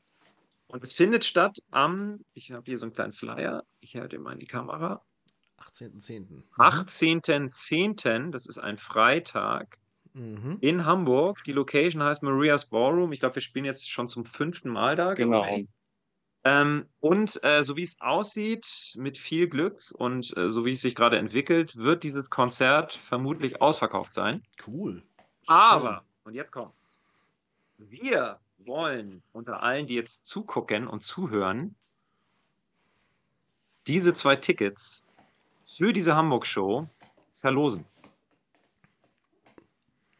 Also wer Interesse hat, in Hamburg bei der Show dabei zu sein, am 18.10. Ähm, lohnt sich immer, nach Hamburg zu fahren, ist sowieso immer eine Reise wert. Äh, das, das muss man dazu sagen. Aber wir werden da auch wirklich alles geben. Ähm, und äh, das Einzige, was ihr dafür tun müsst, ist uns zu schreiben oder der Musik Lava Allianz zu schreiben, wie der Song heißt, den wir von Telly Savalas adaptiert haben und äh, nahezu live immer spielen. Wir haben heute ausführlich darüber gesprochen. Wenn euch der Titel einfällt, ähm, ihr könnt auch ein bisschen recherchieren, vielleicht mal das Album Devil's Music von uns angucken. Ähm, schreibt der Musiklaba Allianz Genau. und dann gibt es vielleicht diese zwei Tickets. Genau, entweder, entweder äh, uns direkt schreiben über Instagram, über Facebook oder auch per Mail ähm, musiklaberallianz.outlook.de oder eben über eure Kanäle. Ne? Instagram, Ja, Facebook. gerne an info at, genau, oder, oder am besten an info at sloppy-joes.de. Ähm, genau. Dann Und mit viel Glück sehen wir uns dann. Kriegt ihr zwei Tickets. gibt es zwei, zwei Tickets, genau. Und ähm, bis wann soll das Ganze passiert sein am besten? Also wann machen wir, wann also, machen wir äh, zu? Wenn die Tickets weg sind, dann, wir wollen ja irgendwann Ausverkauf vermelden. Ja. Äh, also die müssen noch weg, die beiden. ähm, ich würde aber, gut, 18. ist jetzt in drei Wochen. Ja, eine Woche habt ihr Zeit, denke ich. Dann würde ich sagen, machen wir einfach mal Teilnahmeschluss den 9.10. Ähm, ja, 9.10. um 18 Uhr. Ich mache da jetzt mal eine Zeit, ein Zeitding drin. Alle Einsender, die uns da entsprechend was zukommen lassen und äh, dann ziehen wir einen Gewinner und dann hat der oder die Glückliche die Gelegenheit, euch live in Farbe und vor allem mit ganz viel Krawall auf die Ohren die Chance, euch live zu erleben. Ne? Also Vor allen Dingen volle Show, ne? Also genau, keine. Unter zwei Stunden geht da gar nicht. Nee, das, unter zwei Stunden kommt überhaupt nicht, kommt überhaupt in Frage. Nee. Gerade ein Twitch-Zuschauer schreibt: Schade um die Karten, habe schon zwei. See you there. Also, löblich. Sehr gut. Löblich, löblich. Ne? Und äh, deswegen, also da, so haben die Chance, die Leute auch die Chance, die jetzt gleich noch die, oder jetzt im Laufe der Woche die Podcast-Folge hören oder auch das Video, die sie anschauen, entsprechend mitzumachen. Wie gesagt, wer, wer das Zeit hat, wer die Antwort kennt und vielleicht auch rund um Hamburg oder Lust auf eine kleine Hamburg-Reise hat, äh, soll dann gerne dran teilnehmen. Äh, schreibt uns reichlich, schreibt uns viel und äh, viel Erfolg, viel Glück beim Gewinnen an der Stelle. Ja, ähm, ich habe noch zwei, lass mich überlegen, zwei, ja, drei, drei Sachen und äh, die Abteilung schamlose Werbung tatsächlich. Lass uns mal die schamlose Werbung tatsächlich okay. direkt mal vorgreifen. Okay. Habt ihr denn, ihr habt ja gesagt, Merchstand äh, auf Festivals, ganz klar. Habt ihr denn auch sowas wie online-mäßig irgendwie Shop? Wo kann man eure Musik kriegen, äh, sich käuflich erwerben, T-Shirts, Merch, alles was dazugehört? Gibt es da irgendwie was Möglichkeiten? Jetzt ist eure Chance. Ja, es gibt äh, auf unserer Homepage sloppy-joes.de gibt es ähm, das Menü oder den Menüpunkt Shop. Und dort gibt es tatsächlich alles, was wir haben. Also da gibt es alle unsere Tonträger, unsere Vinyl-LP von Devil's Music, unsere allererste EP, die gibt es wirklich nur noch da im Shop, die ist sonst im Handel komplett vergriffen.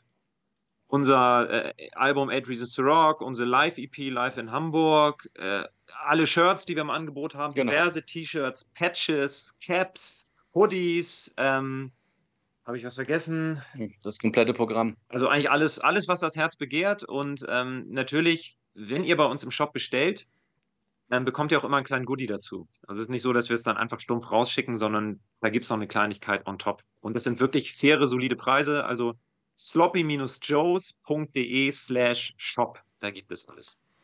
Siehste, also da auf jeden Fall mal da auf jeden Fall auch direkt mal reinschauen, reinhören und äh, da entsprechend kräftig zulangen, weil auch das supportet die Bands ja nach wie vor, wie wir ja wissen.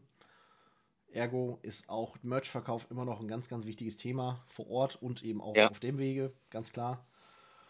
Es ist ja. mega wichtig. Also wir sehen es wir auch bei, bei äh, Festivals und Kon Es ist tatsächlich so, ich sage so oft tatsächlich, aber ähm, es ist so, dass ähm, wir, wir bekommen es ja auch mit. Also, erstes Argument war Corona-Pandemie, Nachwirkung. Zweites Argument war ähm, Ukraine-Krieg. Ähm, und drittes Kriterium Energiepreise. Viertes Kriterium Lohnsteigerung und wie auch immer. Es ist einfach so, dass die Veranstalter ähm, ja, finanziell nicht mehr so optimal ausgestattet sind, um Bands horrende Gagen zu bezahlen. Also gerade in, bei diesen kleineren Festivals, mhm. aufgrund der gestiegenen Kosten. Ähm, wir haben auch leider viele Festivals schon mitbeerdigen müssen, die stattgefunden haben und wir quasi das letzte Mal gespielt haben und sie danach nicht mehr stattgefunden haben. Bedeutet mit anderen Worten, wenn eine Band wie wir auf einem Festival spielt, dann haben wir, kriegen wir nicht die fetten Gagen dafür. Also mhm. sind, wir werden gut bezahlt, aber wir kriegen nicht die Megakohle und sind deswegen auch ganz besonders auf diese Merch-Verkäufe angewiesen. Also das ist wirklich äh, eine ganz wichtige Einnahmequelle für uns. Ähm, und ich spreche da tatsächlich auch dann im Namen aller anderen Bands, äh, die unserer Größenordnung, die, die live unterwegs sind in ganz Deutschland. Mhm. Merch zu kaufen ist das Beste, was du machen kannst, um äh, lokale, regionale Rockbands ähm, zu unterstützen. Ja, Absolut. Ja, das ist deswegen, ich, ich persönlich, äh, wenn ich jetzt äh, auf Konzert, also ich persönlich habe so auch da leider, oh, das heißt leider, leider im Sinne von, weil irgendwann wird es teuer, ein Fable, gerade wenn man auf äh, Festivals, lokalen Festivals unterwegs ist, so dieses, äh, ja, lokale Shirt von dem Event ist für mich ein Souvenir. Wenn ich jetzt irgendwo auf einer Tour irgendwo bin oder eben es gibt ein Konzertshirt oder sowas, dann kannst du davon ausgehen, dass die 20, 25 Euro danach in meinem Portemonnaie fehlen, weil das für mich halt zum Beispiel auch ein Ding ist, ganz einfach. Aber äh, gleichzeitig, dass es auch noch was ist, um die, um, die, um die Bands halt eben auch zu supporten, sollte man halt drauf. Natürlich, vorausgesetzt natürlich, es, es, es geht. Nicht jeder hat die Möglichkeiten momentan. Das ist alles auch ein bisschen schwierig geworden. Das ist so. Ne? Aber wer kann und wer dann auch entsprechend die Musik feiert, dann äh, kann man sich oder dann soll er sich das auch gönnen, er oder sie. Und äh, supportet damit auch den Fortbestand entweder von einem Festival oder eben auch den Interpreten, die da entsprechend spielen. Richtig. Und ähm, unsere Shirts kosten alle 20 Euro. Also es sind, sind jetzt keine, keine Iron Maiden-Preise von 60, 70 Euro pro Shirt. Ja, und äh, also wir haben letztens äh, und wir verkaufen auch sehr gerne Tonträger. Also wir lieben es, unsere LP anzubieten. Die kostet auch nur 20 Euro auf mhm. Konzerten. Mhm. Da haben wir auch so ein Erlebnis gehabt letztens beim Konzert. Ähm, kam einer zum Merch, da meinte, ey, total geil, hat mir richtig Spaß gemacht, genau meine Musik. Dann haben wir gesagt, ja, möchtest du noch einen Tonträger mitnehmen hier, eine signierte LP zum Beispiel? Dann sagt er, nee, nee, nee, ich habe euch auf Spotify, total geil. Und dann ist er gegangen. Ja. so, ähm, das ist etwas, natürlich ist es ein tolles Medium, um Musik zu hören und auch äh, um Reichweite zu generieren und auch andere Hörer auf sich aufmerksam zu machen. Aber vom Streaming äh, kann man als Künstler nicht leben. Äh, zumindest nicht in der Kategorie, in der wir unterwegs sind. Ja, das ist äh, tatsächlich auch was, das ist so ein O-Ton, den ich schon diverse Male auch gehört habe. Ich sag mal, es ist, es ist es ist alles so ein, so, so ein Vor- und Nachteil irgendwo. Ich meine, wie gesagt, aus, aus Künstlersicht schwierig, zumindest nicht um großartig da, sich dagegen zu finanzieren. Äh, aus Hörersicht natürlich schon irgendwo geil, weil A, praktisch, weil du es, ich sag jetzt mal doof, und ich glaube, das, das wird jeder irgendwie haben. Man hat das, man hat das auf dem Handy, gerade wenn man im Auto unterwegs ist, weißt du, eben dran, du hast keine 1000 CDs mehr im Auto, wenn du überhaupt noch CD-Player im Auto hast, tatsächlich. Da ziehe ich meinen Podcast-Kumpel Sven immer auf, weil der kann nicht mal mehr einen CD-Player im Auto, als Beispiel. So, und äh, ja. es ist natürlich schon nützlich oder es ist praktisch irgendwo ein Stück weit, auch wenn man mal so ein bisschen durchhört und mal wieder ein bisschen, ein bisschen guckt, vielleicht auch mal über was Neues fällt. Aber am Ende des Tages, ja, wie gesagt, auf, auf Künstlerseite ist das schwierig. Das äh, höre ich von, von sehr, sehr vielen. Oder fast von allen eigentlich tatsächlich. Also, ja. wer kann, Gut. definitiv rangehen. Ich habe noch, ich habe eine Frage, habe ich noch zum Schluss. Ja. Zwei. Eine Abschlussfrage. Zwei, ne, zwei, nee, zwei Fragen noch. Also ein, zum einen. Aus einfach zwei. Das ist, wie, das ist wie mit den Zugaben live. Ja. Siehst du, genau. Eigentlich schon Ende, aber noch ja. in Zugaben. Zum einen eure ja, Traumvenue. Wo, habt, wo, wo, wo würdet ihr gerne immer mal gerne spielen wollen? Wenn ihr euch einfach mal wild ins Kraut. Oh, das ist immer eine gute Frage. Oh, echt eine gute Frage. Die gut, das Beste also ich würde gern, ja, ja, ich, ich würde gern in der Barclays Arena spielen, in Hamburg. Mhm. Ähm, irgendwie. Und äh, in, in Hamburg haben wir richtig, äh, im Grunde fast alle Clubs durch, aber große Freiheit haben wir noch nicht geschafft. Hm. Da hätte ich auch richtig Bock drauf. Genau, was ich mir vorstellen könnte, mal den Stadtpark hier in Hamburg zu Oh ja, das ist auch cool. Ja. Also schon, schon irgendwo lokal noch unterwegs, ne? Also jetzt irgendwie. Ja, ja, das ist, das hat auch damit zu tun, weil das, das ist ja in unserer Biografie verankert, weil wir da selber ja so viele, wir sind ja auch, das muss man ja dazu sagen, wir sind ja genau. selber auch komplette Fans. Also mhm. wir sind ja nicht nur Musiker, sondern wir, sind, wir brennen ja auch für Bands. Wir gehen ja auch auf Konzerte. Genau. Und, und da habe ich äh, auf diesen, in diesen Venues einfach so geile Bands gesehen. Da, und ähm, das sind die Erinnerungen, die sich dann einfach in die Synapsen brennen. Und deswegen mhm. würden wir es natürlich auch gerne, also natürlich wollen wir auch in, in Wacken spielen. Ja. Klar. Sweden Rock wäre auch cool. Ne? Stimmt. Ähm, vielleicht auch mal Hellfest, Hellfest oder uh. vielleicht auch mal Rock in Rio, natürlich. Also man darf ja auch, darf ja auch träumen können, so, ne? Aber ähm, ah, wenn, wenn, wir es realistisch betrachten, ich denke mal so Stadtpark, Barclays und, und, und, große Freiheit, das ist ja durchaus, das sind dann keine Träume, das sind dann schon Ziele, würde ich sagen. Genau. Cool, ja, klingt auf jeden Fall, also klingt schon, wie gesagt, äh, bodenständig lokal, aber doch irgendwie schon mit ein bisschen, mit einem gewissen Blick in, äh, in, eine, in eine größere Richtung. Finde ich, find ich sehr, sehr cool. Ähm, eine, eine Geschichte habe ich noch. Äh, wir hatten vorhin mal das Thema so ein bisschen Großstadt versus äh, so ein bisschen, was hier auch ländlich so passiert, zum Beispiel jetzt hier in der Gegend.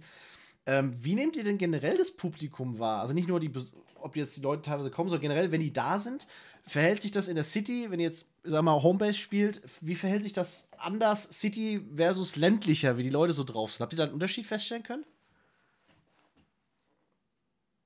Nein, das ist ein bisschen schwierig so. Also wenn wir natürlich in Hamburg spielen, kommen viele Leute, die uns kennen. Das geht mhm. natürlich dann ganz gut ab. Aber allgemein ist es natürlich meistens so, dass ähm, Leute in großen Städten natürlich ein bisschen verwöhnter sind, ne? weil mhm. es ein viel größeres Angebot gibt. Du kannst ja quasi dann, äh, gut, das ändert sich ja auch gerade ein bisschen ins Negative, du kannst ja quasi jeden Tag auf ein Konzert gehen, ist jetzt wohl nicht mehr so, aber es war ja mal so, mhm. was auf dem ländlichen Raum natürlich nicht so möglich ist. Ne? Wenn du da mal äh, in die Stadt fahren willst, musst du ein paar Leuten zusammentun. Und wenn da mal was ist, dann bist du einiges dankbarer für sowas. Ne? Mhm. Und das Gefühl hat man dann schon so ein bisschen, dass die Leute das viel dankbarer aufnehmen, wenn sowas stattfindet, ja. als in so einer großen Stadt, wo jedes, fast jede Woche was anderes durch die Stadt zieht. Ja, die sind einfach herzlicher dann, ne? Auch, ja. auch nach der Show. Also es ist, das, da merkst du, das ist, äh, die sind äh, dankbar und liebevoll, äh, weil wir ihnen ein schönes Erlebnis bereitet haben, was sie nicht tagtäglich haben irgendwie. Also mhm. so kann man das sehen. Faszinierend ist aber auch, also gerade äh, gerade weil, weil du sagst, ländlich versus Hamburg, immer wenn wir ländlich irgendwo gespielt haben, ähm, also nicht immer, aber häufig ist es tatsächlich so, dass es mindestens eine Person gibt im ländlichen Rahmen, die dann zu uns kommt und uns erzählt, dass sie uns ganz groß rausbringt. So, das haben wir. wirklich, es ist ja, ja. immer mindestens ein Typen, der kommt und habt ihr eine Karte, ich bringe ganz groß raus. Und äh, dann passiert natürlich danach nie wieder was. Wow. Aber ähm, das sind dann so die Leute, die dann äh, auch ihre Two Minutes of Fame haben wollen. Ne? In dem Moment mhm. sind die die krassen Vermittler, die für uns die Welttour klar machen. Oder einer wollte uns äh, bei, bei Dirk Schneider, äh, Except, ne? Uno, mhm. Uno, meinte, ich kenne ihn persönlich, ich bringe euch da auf der Tour unter. So. Nie wieder was gehört. Nie wieder was gehört. Ne? Wow. Aber für den Moment, ne? für den Moment war er der geile Typ so. Und ähm, das passiert tatsächlich in ländlichen Gegenden öfter als in der Großstadt. Ja. ja, okay, was soll ich sagen? Das ist natürlich dann schon irgendwie, weiß ich nicht.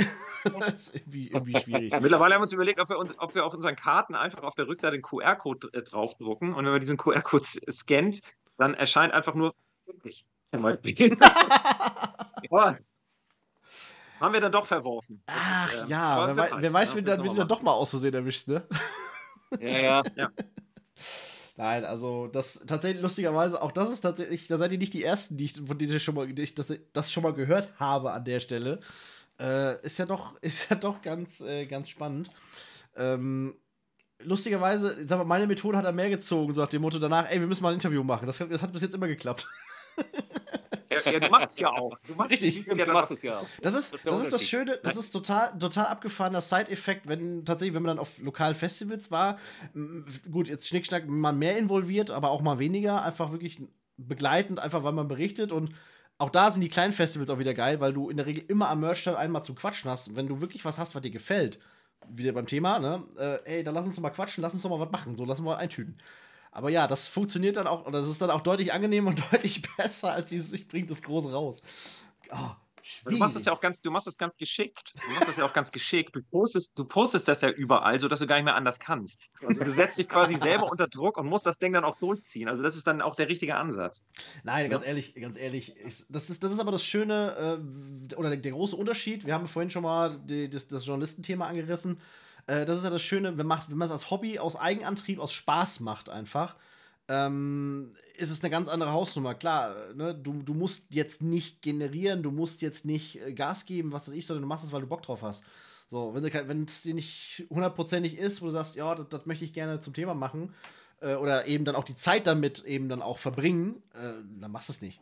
So. Ne? Das ist aber, das ist bei Musik ähnlich. Also wenn es uns keinen Bock bringen würde, würden wir es nicht mehr machen. Ne? Also es ist, äh, äh, wenn, wenn du es nur machst, um irgendwie wie Geld zu verdienen oder nur machst, um irgendwie den Job abzuliefern, dann blendet sich ja automatisch oder dann verschwindet automatisch die Leidenschaft. Ne? Ja, das nutzt Und äh, letztendlich sollte das ja, sollte das ja der Bock, Bock, den man hat, etwas zu tun, das sollte immer bestehen bleiben. Also das finde ich bei der Musik auch extrem wichtig. Auf jeden Fall. Es gibt, es gibt ja viele Bands, die dann nur noch, die nur noch die Namen haben und die dann einfach nur noch spielen, weil es die Haupteinnahmequelle ist. Mhm. Und tatsächlich dann ähm, es gibt ja Bands, da reden die Bandmitglieder gar nicht miteinander. Ne? Da wird einfach abgeliefert und das war's. Das so. Job. Aber das wir haben halt Job. eben noch diese. Genau. Das ist halt das Gute, ne? wenn du auch Bock hast zu proben. Mhm. Ähm, und bei uns ist es so, wir haben auch Bock zu proben, dann ähm, ist der Drive halt die ganze Zeit da. Ja. Das ist ein riesen Vorteil. und du hast ja auch Bock, viel zu quatschen. Deswegen ist bei dir der Drive für die Lava-Allianz da. Ne? Das ist ja, das ist, das ist bei uns so. Stimmt, das, das ist auf jeden Fall, auf jeden Fall so.